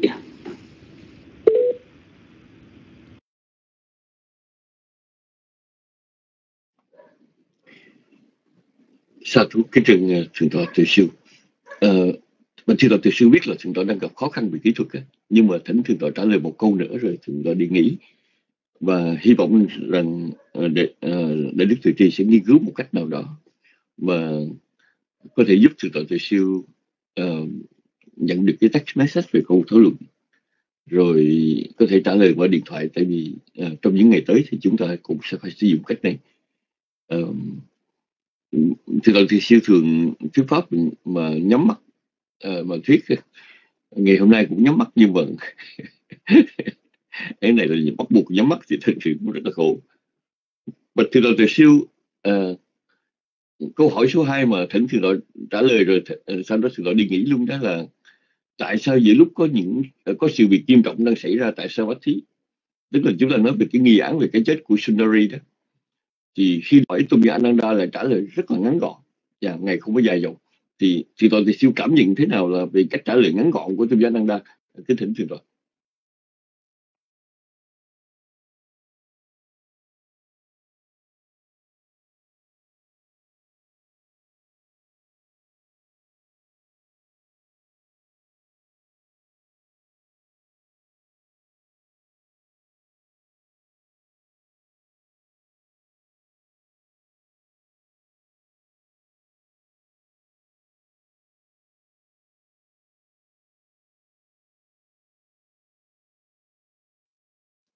quý vị rất là chúng tôi đang gặp trở ngại đường truyền. Có lẽ là um, từ đó tôi siêu uh, không nghe được và đức tự trì cũng chưa có kết nối được. Thôi thì uh, chúng sẽ để sẽ để câu này sau đi. Bây giờ xin được hỏi uh, uh, thượng tọa tự quyền thượng tọa tự quyền có nghe được không? Nếu thượng tọa tự quyền nghe được xin thượng tọa hoan hỷ trả lời cho câu thảo luận số 3 dạ. Thưa tôi tư quyền thường là người đời họ nói rất nhiều cái nghiệp rất nhiều hành động. Mà chúng ta thấy rằng ờ, riêng về hành động phạm pháp thôi đó họ họ biết bao nhiêu là cuốn sách về luật họ biết đủ thứ hết. Trong lúc đó thì ờ, khi mà đạo phật nói về uh, các hành nghiệp chúng sanh thì chỉ nói có ba là thân nghiệp khẩu nghiệp ý nghiệp thôi. Nhưng mà nói như vậy có thiếu không? Nói như vậy có đủ không? Xin kính thỉnh sư tổ khoan hỷ uh, cho biết ý kiến về điểm này.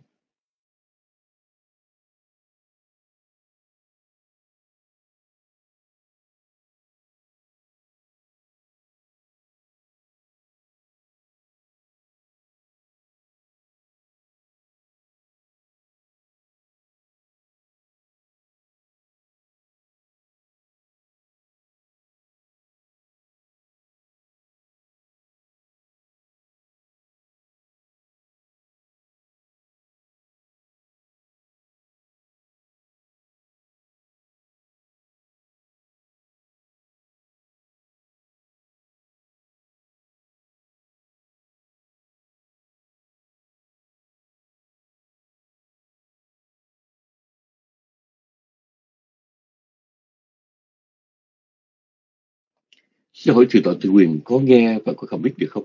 Nếu thượng tọa tự quyền nghe được, xin thượng tọa không hiểu cho biết. Ở trong rung vẫn chưa nghe được, về thượng tọa lên tiếng.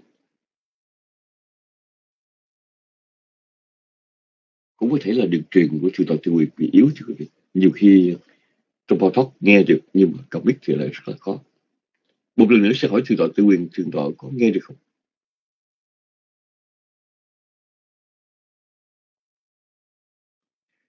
Thượng tọa Pháp Tân ấy, Thượng tọa Pháp Tân có thể giúp trả lời cho câu thảo luận số 3 không? Một lần nữa sẽ hỏi Thượng tọa Pháp Tân.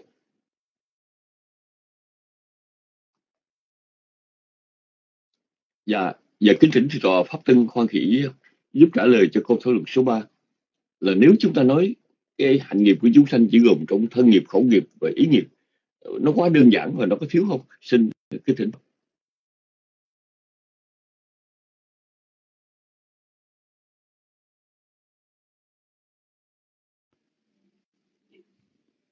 Dạ, Nam mô Bút Thầy Giá, Nam mô Tham Mai Giá, Nam mô Sang Khai Giá. Con thành kính đảnh lễ ơn Đức Tam Bảo, Đức Phật, Giáo Pháp và Chư Tăng.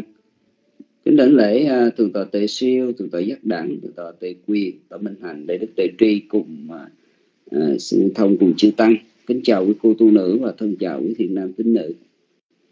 Uhm, cảm ơn quý vị cho biết đã nghe rõ. Chúng tôi thì không bị nghe gián đoạn à, có lúc nghe được ờ, lúc không hôm nay không biết sao mà cái đường truyền nó tệ quá dạ yeah. dạ yeah. qua cái câu hỏi của thượng tọa thì uh, theo cái ý nghĩ riêng của con con nghĩ rằng uh, khi mà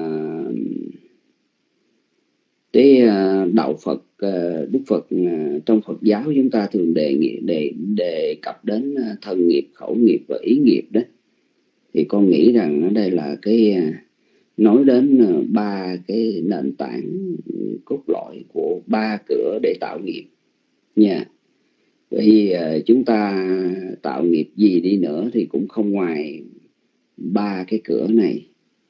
À, khi mà thân chúng ta hành động thì dĩ nhiên là có cái à, cái tâm cái ý của chúng ta có cái sự chủ. À,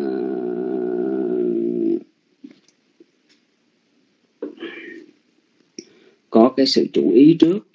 Yeah. rồi cái lời nói chúng ta à, nói ra đó, thì có cái sự chủ ý. À, nhiều khi mình à, nói hay là mình hành động với cái tâm sân hay là cái tâm bất thiện thì nó sẽ có cái kết quả của nghiệp bất thiện nghiệp khổ.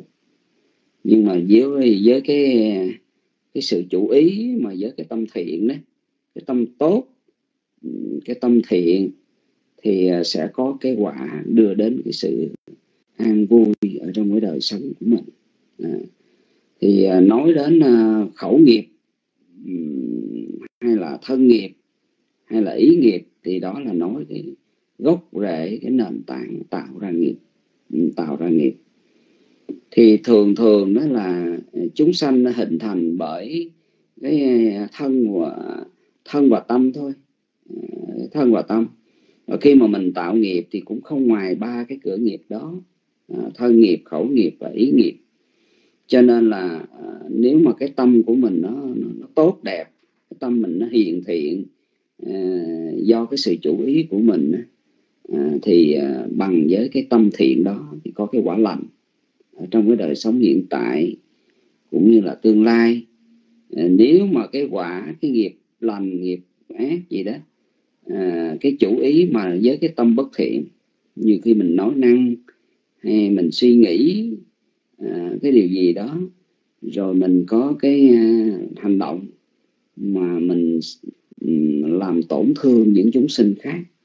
À, thì cái đó là cái ý nghiệp bất thiện à, tâm à, hành động bất thiện của mình trong đó có tí có cái cái ý nghiệp. Lời nói hay là cái hành động của mình thì cũng không ngoài cái ý nghiệp đó. Cho nên nếu mà ý nghiệp bất thiện thì cho cái quả khổ đau.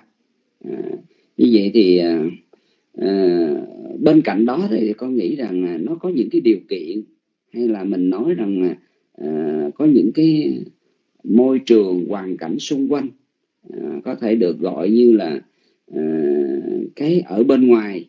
Nhưng mà cái đó là cái cái cái thí dụ như mình nói là ừ, cái sống ở trong một cái môi trường nó cái hoàn cảnh nó không được tốt rồi bị tập tành theo à, tập tành theo hay nói là tập quán nghiệp. Mình tập tành theo thì cái môi trường đó do cái môi trường nó không tốt mình tập tành theo thì mình trở thành một cái người có cái hành động, lời nói, nó không được tốt đẹp. Nó không được tốt đẹp. Mình tạo ra cái nghiệp bất thiện thì cái đó là cái yếu tố phụ, những cái yếu tố phụ. Nhưng mà nói đến nghiệp mà nền tảng của nghiệp của mỗi chúng sanh thì con nghĩ rằng à, ý nghiệp à, à, thân nghiệp và khẩu nghiệp thì ba cái cửa này đều là tạo nghiệp hết. Nhưng mà đều là do tâm của mình, tức là cái ý của mình. Nếu bất thiện À, nếu mà ô nhiễm như là kinh pháp cú à, nếu đức phật ngày dạy, nếu với ý ô nhiễm à, nói lên hay hành động mà khổ não, bước theo sau như xe chân quật kéo. Mà nếu giới ý thanh tịnh nói lên hành động thì an lạc bước theo sau như bóng không rời hình.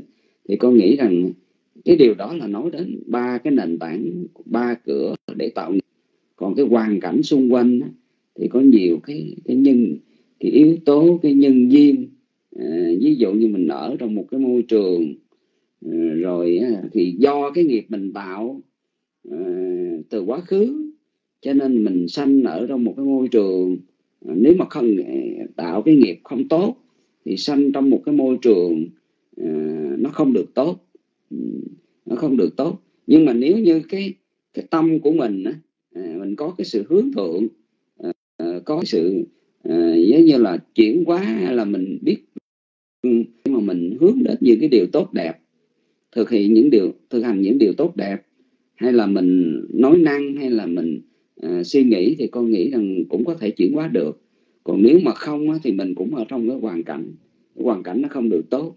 Nhưng mà có những người đó thì ở trong cái môi trường nó tốt nhưng mà lại là họ có những cái cái cái cái hành động mà họ uh, dẫn đến cái đau khổ.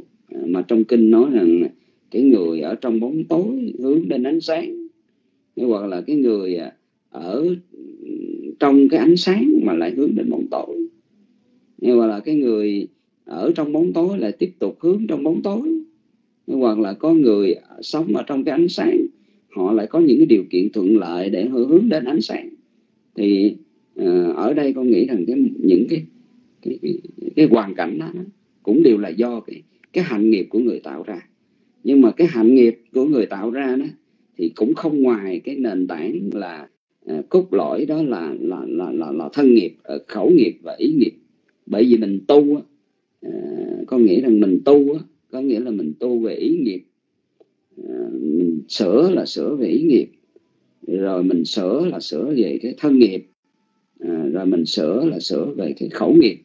Ờ, thay vì nói không tốt nói là nói, nói dối trá hay nói những lời uh, chia rẽ hay nói những lời uh, uh, ác khẩu thì mình nói những lời hiện thiện thiện thiện uh, cái lời hiền thiện mình nói những lời chân thật là mình nói những cái lời mà đưa đến hòa hợp vân vân.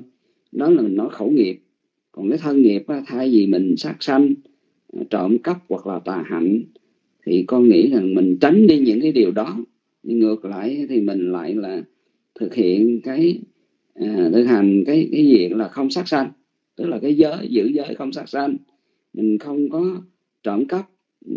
Mình thực hành cái giới không trộm cắp. Rồi mình thực hành cái giới là không tà hạnh. À, thì con nghĩ rằng cái đó là cái thân nghiệp của mình tốt. Những cái thân nghiệp của mình tốt. Rồi cái ý nghiệp của mình cũng vậy. À, thay vì trong cái khuynh hướng thường xuyên của những cái người à, phàm phu thì có khuynh hướng đến những cái pháp bất thiện. Tức là tâm mình nghĩ miên man đến những cái pháp bất thiện. Thì dục tư duy hoặc là hận tư duy hoặc là hại tư duy đó. Nhưng mà đằng này đó là mình phải hướng cái tâm của mình để không có cái dục tư duy. Hướng cái tâm đến cái sự thanh tịnh hay là ly dục à, không có dính mắc ở trong cái cái cái cái, cái liên quan đến ngũ dục liên quan đến cái sự ham thích à, thứ ưa thích à, những cái điều mà nó không được tốt, những cái điều mà tạo ra cái nghiệp bất thiện à, rồi mình có cái cái khẩu nghiệp hay là mình có cái suy nghĩ của mình về cái cái cái gọi là ừ, cái thân nghiệp được tốt đẹp, rồi cái suy nghĩ của mình nó được tốt đẹp, tức là không có làm tổn hại chúng sinh không có nghĩ đến những cái Ờ, sự sân hận, bực bội, khó chịu với những cái việc xung quanh thì con nghĩ rằng mình nghĩ những điều đó ờ, để mình tu tập những cái tâm từ là mình tu tập những cái tâm bi của mình trong đời sống hàng ngày, mình trao dồi đó, thì đó là cái cách tu để chuyển hóa nhà chuyển hóa. Thì ờ, ở đây con nghĩ rằng mình nói đến thân nghiệp hoặc là khẩu nghiệp hoặc là ý nghiệp thì đây là nói đến nền tảng cốt lõi để ba để nói đến ba cái cửa tạo nghiệp của mỗi chúng sanh à, của mỗi chúng sanh. À, tuy nhiên thì nó có những cái à, điều kiện những cái yếu tố xung quanh để hỗ trợ à, làm cho cái nghiệp đó nó nó nó nó phát sanh hay là nó nó được được được được chặn đứng hay là nó ngăn ngừa. Thì à, tất cả những điều đó là do cái hạnh nghiệp của mỗi người được tạo ra và mình sống ở một trong một hoàn cảnh tốt hay là trong một cái hoàn cảnh xấu uh, thì cái đó nó cũng tùy thuộc cái nghiệp quá khứ. Nhưng mà rồi đó là mình có cái sự chuyển hóa mình tu tập hay là mình uh, tạo cái thân nghiệp khẩu nghiệp uh, hoặc là ý nghiệp thiện đó thì con nghĩ rằng đó cũng là cái sự chuyển hóa tu tập của chính mình. Thì con xin góp cái ý của con trong cái câu hỏi mà thượng tọa vừa nêu. Con uh, à, con kính thỉnh thượng tọa trở lại nam mô bút thai giá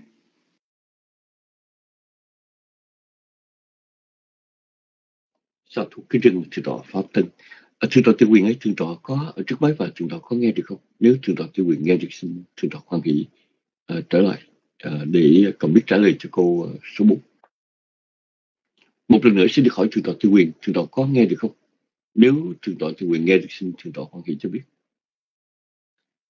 sư nguyên thông ơi sư nguyên thông có mặt ở trước máy và nghe được không?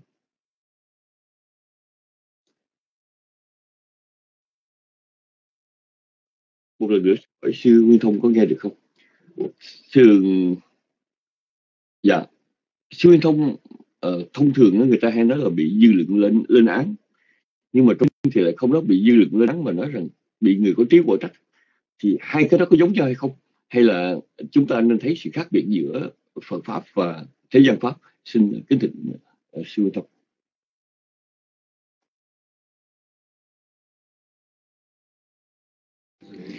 Dạ, Nam Mô Bổn Sư Thích Ca Mâu Ni Phật, con tuân luyện sư phụ ờ, góp ý cho câu thảo luận số 4 hỏi rằng mệnh đề bị người có trí quở trách khác biệt với bị ờ, dư luận lên án. Kính thưa sư phụ, cái câu này thì nó có khác nhau và có một chỗ nào giống nhau ở dưới một mức độ ờ, khiêm nhường hơn một chút. Bởi vì những người có trí quở trách đó, thì những cái dư luận đó thì đúng là bởi vì người có trí mà người có trí thì họ không có ờ, hùa và cũng không có ờ, là, bao che tại người có trí thì họ nói như vậy có với mục đích là tốt đẹp cho cái người mà đã phạm lỗi và để soi sáng cái chân chân lý cho những người uh, Ờ, không có đủ hiểu biết. Còn cái dư luận đó thì dư luận tức là nói cái số đông. Cái số đông thì ờ, người ta nghĩ thế này nghĩ thế, thế khác. Thành ra nếu mà không có lửa thì làm sao có khói? Thì cái dư luận thì nó cũng có đúng một phần nào đó. Nhưng mà không thể phải tất cả những cái điều cái người dư luận đó nói ra như vậy thì là đúng hết. Thì vì như vậy thì những cái người ờ, tu hành như chúng ta thì phải tránh hết những cái sự mà làm lỗi của chúng ta trong thân khẩu ý.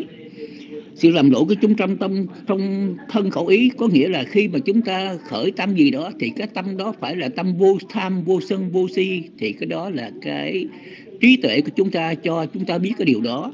Còn nếu mà chúng ta không biết vô tham, vô sân, vô si là cái gì cả, thì ờ, người Việt Nam có câu là không biết gì hả? Nên dựa cột mà nghe kính thưa sư phụ con thì con thấy là như vậy. Đối với câu hỏi số 4 của sư phụ nếu có gì uh, sơ suất xin sư phụ giảng dạy thêm cho chúng con uh, được học tập. Nam mô bổn sư thích ca nam mô mâu ni phật. Con thỉnh mời sư phụ trở la mai và chân thành tri ân chư vị đã lắng tai nghe. Con thỉnh mời sư phụ trở la mai.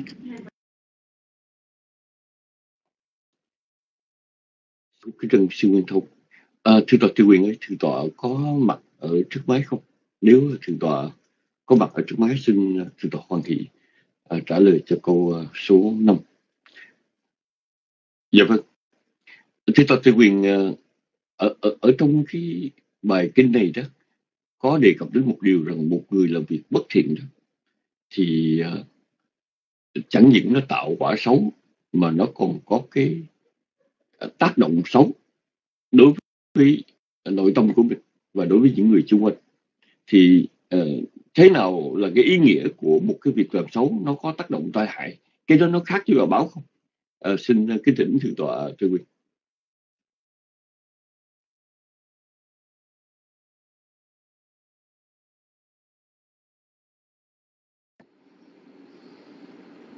Nam mô Bút Thai giá, Nam mô Tham Mai giá, Nam mô Sân Khai giá quý vị nghe rõ không ạ? Dạ cảm ơn quý vị.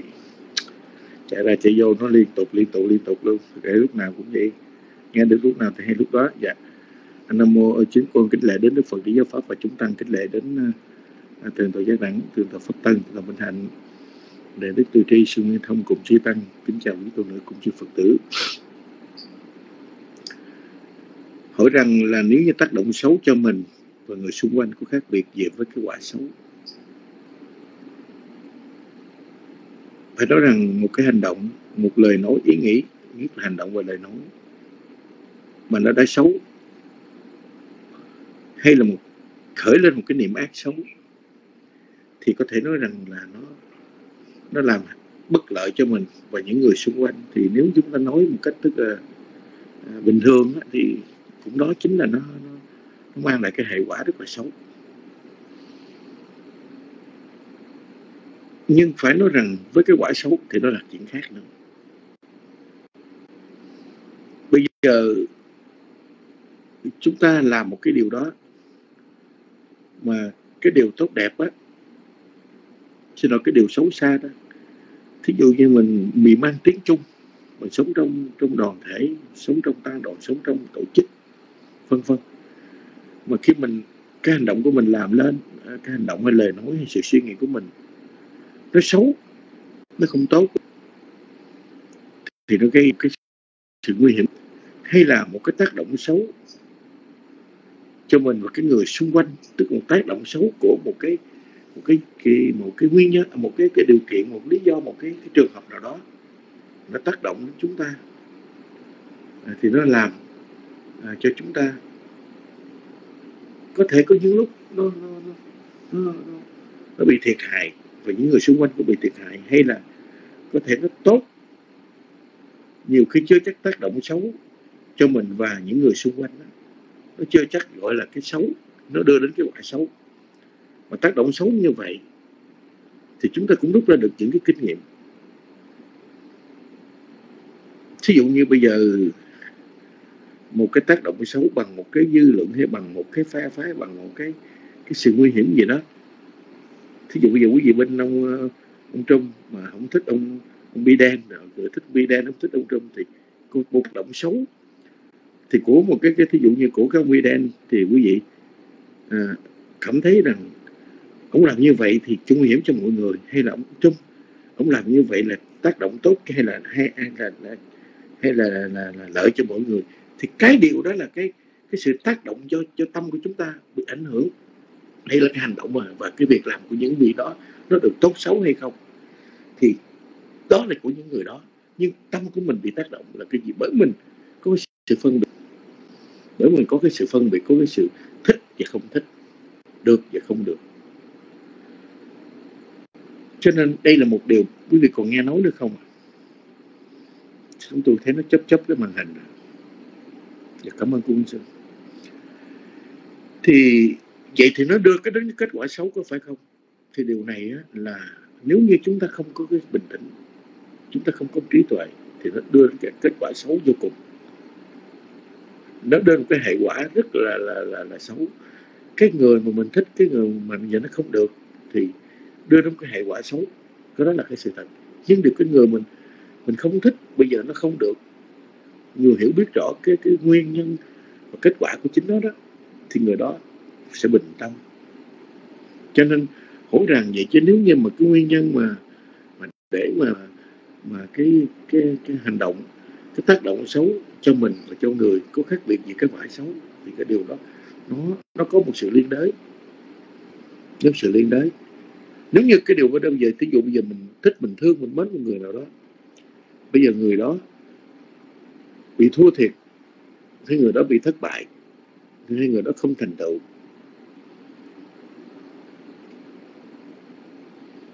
thì cái kết quả xấu của nó đó là chúng ta chúng ta lãnh đó chúng ta buồn chúng ta không vừa lòng. Cho nên vì vậy cái tác động nó làm một cái ảnh hưởng rất là lớn. Nó cộng nó cộng hưởng nó tương ưng. Nếu như chúng ta tương ưng với họ rồi cũng như tương ưng với bất thiện rồi thì chắc chắn là quả, quả bất thiện. Mà nếu như tương ưng với thiện thì chắc chắn quả có quả thiện. Nhưng hỏi gì? Cái tác động xấu đó và đưa đến cái quả xấu thì nó lại là một chuyện xa nữa khác hơn nữa thì như đã nói đó nhiều khi người ta tác động xấu mình. Nghe một cái dư lượng nghe một cái hoàn cảnh gì đó một cái chuyện từ đó chưa chắc nó nó, nó là một cái cái, cái cái cái quả xấu nó tới cho mình. Bởi vì đó nhiều khi nó nó có khác biệt chỗ này. Là nhiều khi khởi nhân á, là một cái hành động xấu một cái lời nói xấu ý nghĩ xấu của người khác mang tới nó tác động cho ta hay những người xung quanh. Nhưng có đôi khi nó lại là một cái điều kiện tốt thí dụ như bây giờ chẳng hạn như bây giờ cái bệnh covid nè tác động rất lớn chúng ta nghe nói cái cái cái covid nếu chúng ta không không không đeo khẩu trang nếu như chúng ta không cách xa nếu chúng ta không cẩn thận thì rất là nguy hiểm. Thì đó một tác động xấu đó, đó cho mình. Và khi nó tác động tới mình và tới người nhưng khi mà mình lo sợ như vậy và chúng ta nếu như mà không đeo khẩu trang thì sẽ là quả xấu mà chúng ta đeo khẩu trang. Chính cái tác động xấu cái tác động mà bị bính hoạn ốm đau khổ sở thì nó lại là một chiều hết sức tuyệt vời. Đấy là cái sự thật. Là tự động mình phải cách ly tự động mình phải cách xa. Thì ở đó chính là những cái điều mà mà mà mà nó nó, nó nhiều thứ lắm. Đúng vậy có duyên chuyện mình khi buồn mình ngược đãi cũng có cái người vui. Nó lạ lắm. Có nhiều thứ nhiều chuyện lắm. Để thí dụ bây giờ à, mình bị mình, mình thấy người ta bị te tua thê thảm đó. Thì cái mà mình thấy mình cảm thấy đau khổ đó nhưng được cái người khác. Người ta người ta lại thấy cái điều người ta vừa lòng. Bởi người ta thấy cái người này nó phải phải như thế. Người này phải te tua phải thê thảm phải hết sức là là là, là để hại như vậy họ mới vừa lòng vân vân. Hay hoặc là ngay cái tác động mà cười trên sự đau khổ của người khác vân vân. Thì những cái đó, đó nó đều là những cái, cái tác động xấu cho mình và những người xung quanh thì thứ nhất nhiều khi có những người cùng cười với họ. Cái người đó bị bị bị dị tật hay người đó bị câm ngọng hoặc là bị khu khờ gì đó. Thì những người đó lại là bị chúng ta bị cái tác động. Nhiều khi chúng ta nếu như chúng ta cùng cười với họ đó chính là một cái quả xấu nhưng chúng ta không bị không bị bị bị, bị tác động thì nó làm chuyện khác.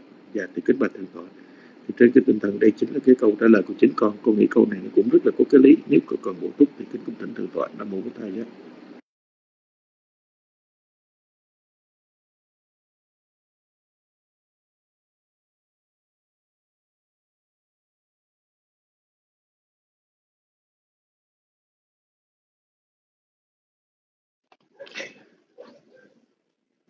Sa thú à, cái trường à, uh, trường tọa về quyền à, thưa quý vị uh, uh, chúng ta để uh, ờ, ờ, tóm tắt lại uh, về một cái định nghĩa về chữ thiện và bất thiện theo tôn giả nên rằng uh, nhất là thiện là một hành động thiếu lành mạnh. Uh, và có tác động thiếu lành mạnh trên tâm thức của mình. À, chúng ta thường là vì gì đó mình cứ nhân danh rằng à, mình làm điều này vì chánh nghĩa làm điều này vì lý do này lý do khác. Nhưng khi mình làm điều đó mình hỏi là cái tâm của mình nó có uh, nó có tác động xấu đến đời sống của mình hay không? Uh, nó có tác động uh, lành mạnh hay không lành mạnh? Nếu mà, mà một điều thực sự tốt thì nó sẽ làm cho chúng ta bớt phiền não đi thanh thản đi nhẹ nhàng. Nhưng mà nếu việc làm gì mình làm á thí dụ mình đi ở trong chùa mà cái việc mình làm nó luôn luôn gây nóng nảy và xáo trộn cho những người xung quanh đó, thì mình phải đặt lại câu hỏi rằng à cái cái việc mình làm như vậy đó nó có tốt hay không? Mà con người mình hay biện hộ lắm. Mình đưa ra à, tôi làm cái đó vì lý do này lý do khác. Nhưng mà việc mình làm mình gây phiền não tại sao mình không để ý? Việc thứ hai đó là uh, đức phật ngài khuyên là chúng ta nên để ý là việc làm uh, có bị người có trí của trách hay không? Trong cuộc sống thì chúng ta nên thân cận với vật thiện trí đó là những vị uh, cao niên uh, những vị tu hành hay là những vị nào đó mà chúng ta thấy họ có tư cách. Khi mình làm mà họ nhắc mình ở nói làm cái đó có bộ không được làm cái xấu thì mình nên ngưng lại. Chúng ta ít có để ý đến điểm này lắm thưa quý vị là mình sống mà muốn sống tốt thì mình đừng quá ý lại vào chính mình mà mình lên lắng nghe những người gần mình. Những người gần mình mà họ thực sự tốt thực sự thương mình khi mình làm sai họ nhắc họ nhắc mình thì cái điều nào mà bậc thiện trí nói là không được thì mình ráng mình nghe. Biết lắng nghe những người cố vấn mà những người cố vấn tốt đó, đó là một cái sự khôn ngoan của con người. Và điều thứ ba đó là cái việc mình làm có đem lại quán hay không. Vì điều này chúng ta phải học nhiều về nhân quả ví dụ sát sanh trộm cướp tà hành vân vân. Thì đây, đây là cái khổ báo đây là cái phần nhân quả. Có cái động lực bất thiện. À, mình làm việc đó có phải là vì tham vì sân vì si không? Ngay cả thưa quý vị ờ, ví dụ như là bây giờ người ta hay khuyến khích người ta đi đấu giá để từ thiện. Nhưng mà mình đấu giá từ thiện cái việc làm thấy nó tốt nhưng mà cái cái cuộc đấu giá đó nó cái cái nguyên nhân sâu xa của mình đó mình mua một bức tranh lúc đó không phải là vì mình làm phước mà bởi vì uh, muốn nổi tiếng chẳng hạn. Hay là uh, mình làm việc gì đó là vì cầu danh cầu lợi vân vân thì mình phải coi cái động lực của nó có phải động lực tốt hay không? Động lực tốt thì ở trong kinh Phật đó là cái chetana tốt cái tư tâm sở tốt hay là cái tác ý tốt thì cái quả mới tốt được. Và sau cùng đó là cái hành nghiệp thiện hay bất thiện nó phải có một cái gọi là nó có một cái uh, tác động tốt cho mình và cho những người xung quanh mình. Uh, chúng tôi nhớ hồi còn nhỏ đó uh, có nghe một vài câu chuyện là ờ, ở trong nhà họ nhắc là vợ chồng mà cãi nhau không nên cãi trước mặt con cái yeah. bây giờ thì người ta không quan trọng việc đó nhưng mà quả thật là con cái hồi còn nhỏ mà thấy cha mẹ cãi với nhau nhất là những cái tiếng nói với nhau nặng nề đó thì nó ảnh hưởng tới con cái và phải nói một điều rằng uh, cái cuộc sống xung quanh của chúng ta cũng vậy yeah. lấy ví dụ như là trong một ngôi chùa mà chư tâm mà có những cái chuyện mà uh, nặng nhẹ lời qua tiếng lại đó thì nó ảnh hưởng tới phật tử. Chúng tôi có uh, thấy một điểm này thưa quý vị. Uh, ngày xưa đó nhiều năm về trước ít bao giờ những người phật tử mà họ chửi tăng ni ở trên uh, các diễn đàn họ chửi những danh từ những cái từ rất là nặng. Nhưng mà sau này á họ có những lời đó nặng nề và cái nặng nề đó nó cũng do là có những vị tăng ni vì tranh chấp với nhau mà nói những lời rất là nặng nề. À, nói được thì người khác họ nói được. Tại ra cái cái tác động xấu đó, nó nó giống như một thứ truyền nhiễm vậy đó. À, bị truyền nhiễm cẩm cúm hay truyền nhiễm covid đi rất là xa. Vì vậy à, à, cái cuộc sống nào mà mình nhân danh lẽ phải nhân danh chính nghĩa nhân danh công lý nhân danh gì đó mà nó tác động xấu đến người khác xấu đến những người xung quanh xấu đến bản thân của mình thì mình phải uh, mình phải cân nhắc. Và uh, chúng tôi muốn trở lại một điểm mà đáng lẽ hỏi thượng tọa từ siêu nhưng mà thượng tọa không có uh, không có mặt uh, không còn mic được đó. Là quý vị thấy rằng uh, trong cái chuyện đang xảy ra là người ngoại đạo họ dàn xếp để cô Sundari thường lui tới chùa Kỳ Viên và sau đó họ giết cô Sundari họ chôn kế bên cạnh chùa Kỳ Viên. Thì thưa quý vị sau đó họ hô lên là là Sundari mất tích và họ nói rằng uh, cô từng đến chùa Kỳ Viên và họ cho người đi tìm kiếm cái cuộc khai quật cái xác Sundari ở uh, gần ở kế bên chùa Kỳ Viên trong một cái đống đống rác đó thì uh, chứ vì uh, uh, họ đổ nó cho Đức Phật. Và thì vua Ba Tư Nặc đó là một vị vua và uh, nhà vua đã cho thám tử uh, đi để theo sát những người mà đã uh, đã khai quật khai quật cái xác từ đám đó lên. Và khai quật đó rồi rút cuộc đã tìm ra đó là những người họ đã nhận tiền. Họ đã nhận tiền mà họ đang chia tiền. Họ đã nhận tiền từ một nhóm ngoại đạo để tìm cách vu khống Đức Phật. Nhưng mà đó là một câu chuyện khác trong lúc nhà vua thám tử điều tra đó. Là vua ở bất chợt thấy tôn giả Ananda đi trên đường. Ở đây là một cuộc đối thoại à, quý vị. Mặc dù nó không phải là chính thức như là ngày nay trên phương diện luật pháp, nhưng mà nó có cái tầm mức rất là quan trọng bởi vì sao vậy? Một bên là một vị vua đang có trách nhiệm chăn dân trị nước đang có cái trách nhiệm để bảo đảm rằng những gì mà xảy ra trong cái vương quốc của mình ở trong kinh đô của mình nó không có uh, vượt xa cái pháp luật vượt xa nó có những điều phi pháp sẽ phi pháp xảy ra và đem lại cái sự công minh cho tất cả mọi người. Một bên đó là tôn giả Ananda là thị giả của Đức Phật như chúng tôi thưa quý vị là tôn giả Ananda là sanh một ngày với Đức Phật. Đức Phật 80 tuổi thì tôn giả Ananda cũng 80 tuổi.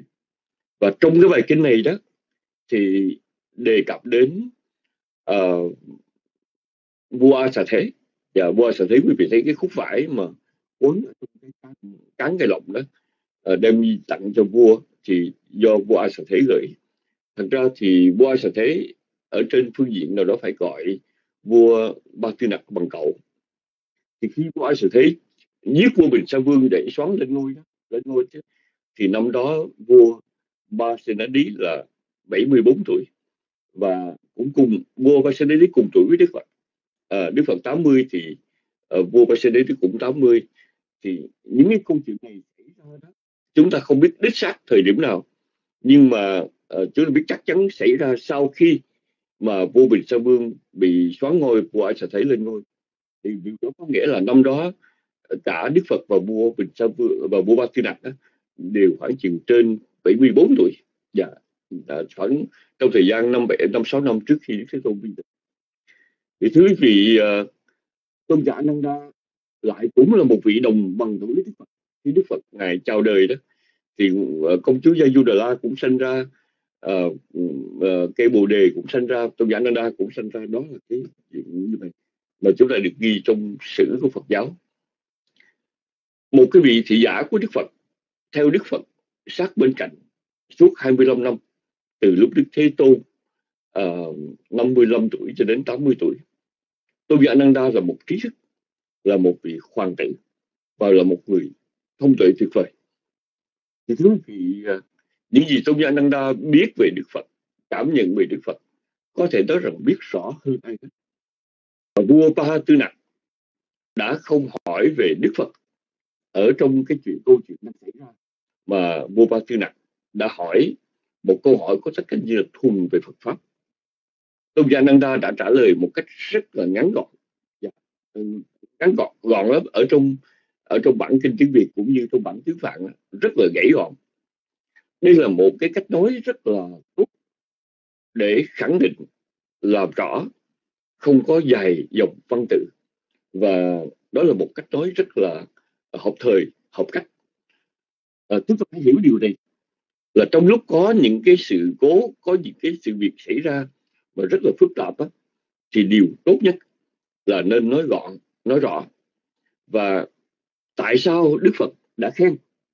Đức Phật đã khen vua Ba Tư Nặc vua Ba Sư và tại sao Đức Thế Tôn đã khen tôn giả Ananda tại vì trong một sự việc như vậy đó nói dài nó không có lợi. Phải nói đi thẳng vào vấn đề. Chẳng những nói thẳng nói rõ mà còn nói gọn nữa. Nó làm chuyện rất là được. Bởi vì nếu mình một người mà không biết cái câu chuyện xảy ra đó thì có lẽ nói là tại sao tôn giả Nanda trong cái cuộc nói chuyện này nói rất là uh, nói rất là là là là ngắn gọn có một vài chi tiết mà chúng tôi cũng nói quý vị là uh, khi vua Ba Tư Đạc đến thì vua Ba Tư Đạc rất là mặc dù là một vị vua nhưng mà nhà vua rất là hiểu biết. Nhà vua không có ngồi uh, ở trên cái cái cái tọa cụ mà bằng cái da con ngựa bằng lông ngựa đó. Một thứ thuộc bằng con ngựa đó dành cho nhà vua. Tôn giả Nanda đã ngồi trên cái tọa cụ của mình tọa cụ bằng vải. Và và nhà vua đã đã một cách rất là tôn trọng mời tôn giả ngồi ở trên cái tòa cụ bằng tôn ngựa thì tôn giả từ chối.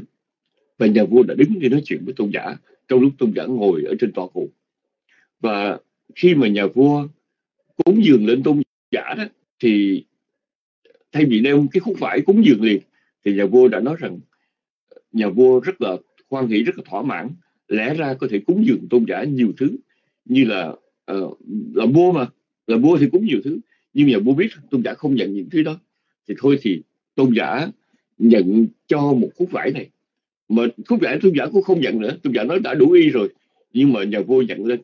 Đó là một cái biểu tượng và cái biểu tượng nói lên rằng nhà vua đã xác lập được là lời nói của tôn giả Ananda là một lời nói uh, hợp tình hợp lý và nhà vua hoàn toàn tin tưởng. Nhà vua hoàn toàn khoan nghĩ và nhà vua đã đưa ra một cái gợi ý để thỉnh cầu tôn giả Ananda chấp nhận điều đó. Sự chấp nhận của tôn giả Ananda nhận khúc phải của nhà vua, như là một cái phán quyết của một vị vua đối với một sự việc đang xảy ra xào xáo ở bên ngoài. Mặc dù lúc đó là chưa có chung cuộc, mặc dù lúc đó nhà vua đang điều tra sự việc, nhưng mà qua cái lời nó qua cái cách của nhà vua cúng dường cái khúc vải cho tôn giả Nanda thì nói rằng nhà vua đã khẳng định là tôn giả đa nói rất chính xác nói rất hợp tình hợp lý. Và với cái sự uh, nhận định đó Nhật vua hoàn toàn tin tưởng rằng uh, đã có những cái bàn tay xấu uh, nhằm mục đích vu khống Đức Phật. Uh, một câu chuyện cũng rất là thú vị thưa quý vị.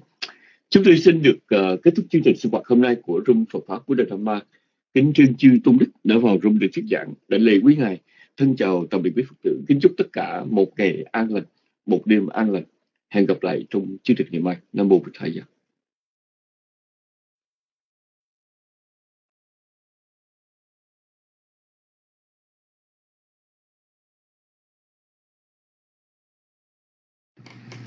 Sa thú, sa thú lành thai. Con Nhật Huỳnh xin thay mặt đại chúng trong Zoom. Chúng con kính tri ân chư tôn đức đã mở rộng bi mẫn giảng dạy Phật Pháp hữu ích cho chúng con, đã hướng dẫn nhiều dắt chúng con tiến bước trên hành trình tu tập. Hầu mong đem lại an lạc trong đời sống và hướng đến đạo quả giải thoát luân hồi. Kính cảm ơn đại chúng đã lắng tâm thanh tịnh thính Pháp. Kính cảm ơn quý chủ nhiệm, quý ớp sứ ngôn viên đã yểm trợ cho các phần hành trong lớp học được hoàn tất mỹ mãn. Chúng con kính chúc chư tâm tâm thường lạc, Phật sự viên thành, kính chúc quý đạo hữu luôn an lạc các tường trong chánh pháp nhiệm màu của Đức Từ Phụ Thích Ca Mâu Ni. Để kết thúc chương trình, xin chúng ta nhất tâm hồi hướng, nguyện công đức đã làm, kết duyên lành giải thoát, nguyện hồi hướng chư thiên, hàng thiện thần hộ pháp, nguyện các bậc hữu ân đồng thừa tư công đức, nguyện chánh pháp trường tồn, chúng sanh cầu giải thoát. Nam mô Bích Tha giá con thành kính tri ân. Quý ngài Nhật Quỳnh cảm ơn đạo tràng đã cho Nhật Quỳnh biết được tín hiệu.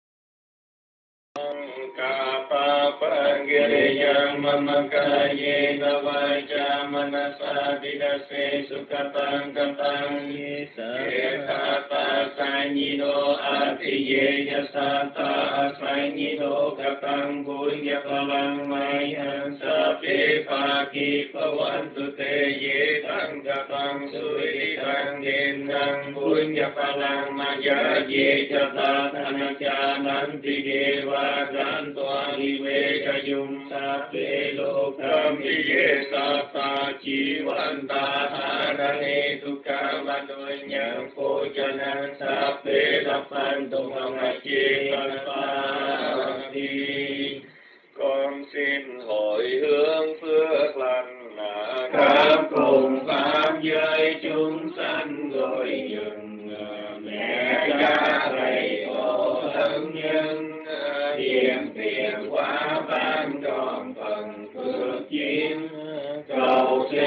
hộ pháp chư thiên phát tâm hoan nghị bao truyền gần xa cầu cho mưa thuận cho hòa pháp luân thường truyền nhà nhà an cương chúng sanh ba cõi sao đường do nhờ thần phẩm bảo tồn mạng căn nghiệp lành từ cầu ý thân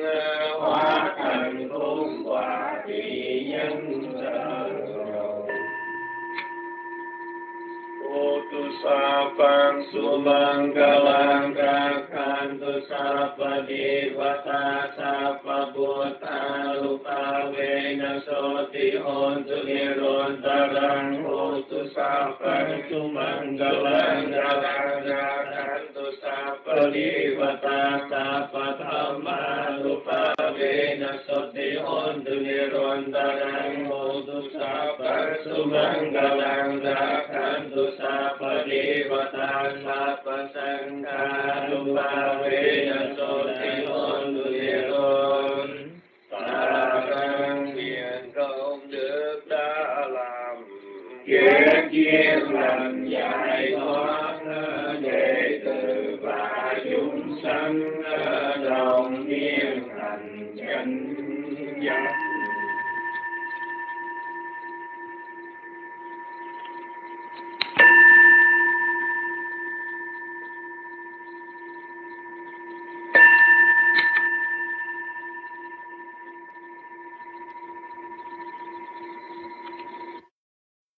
Thank you.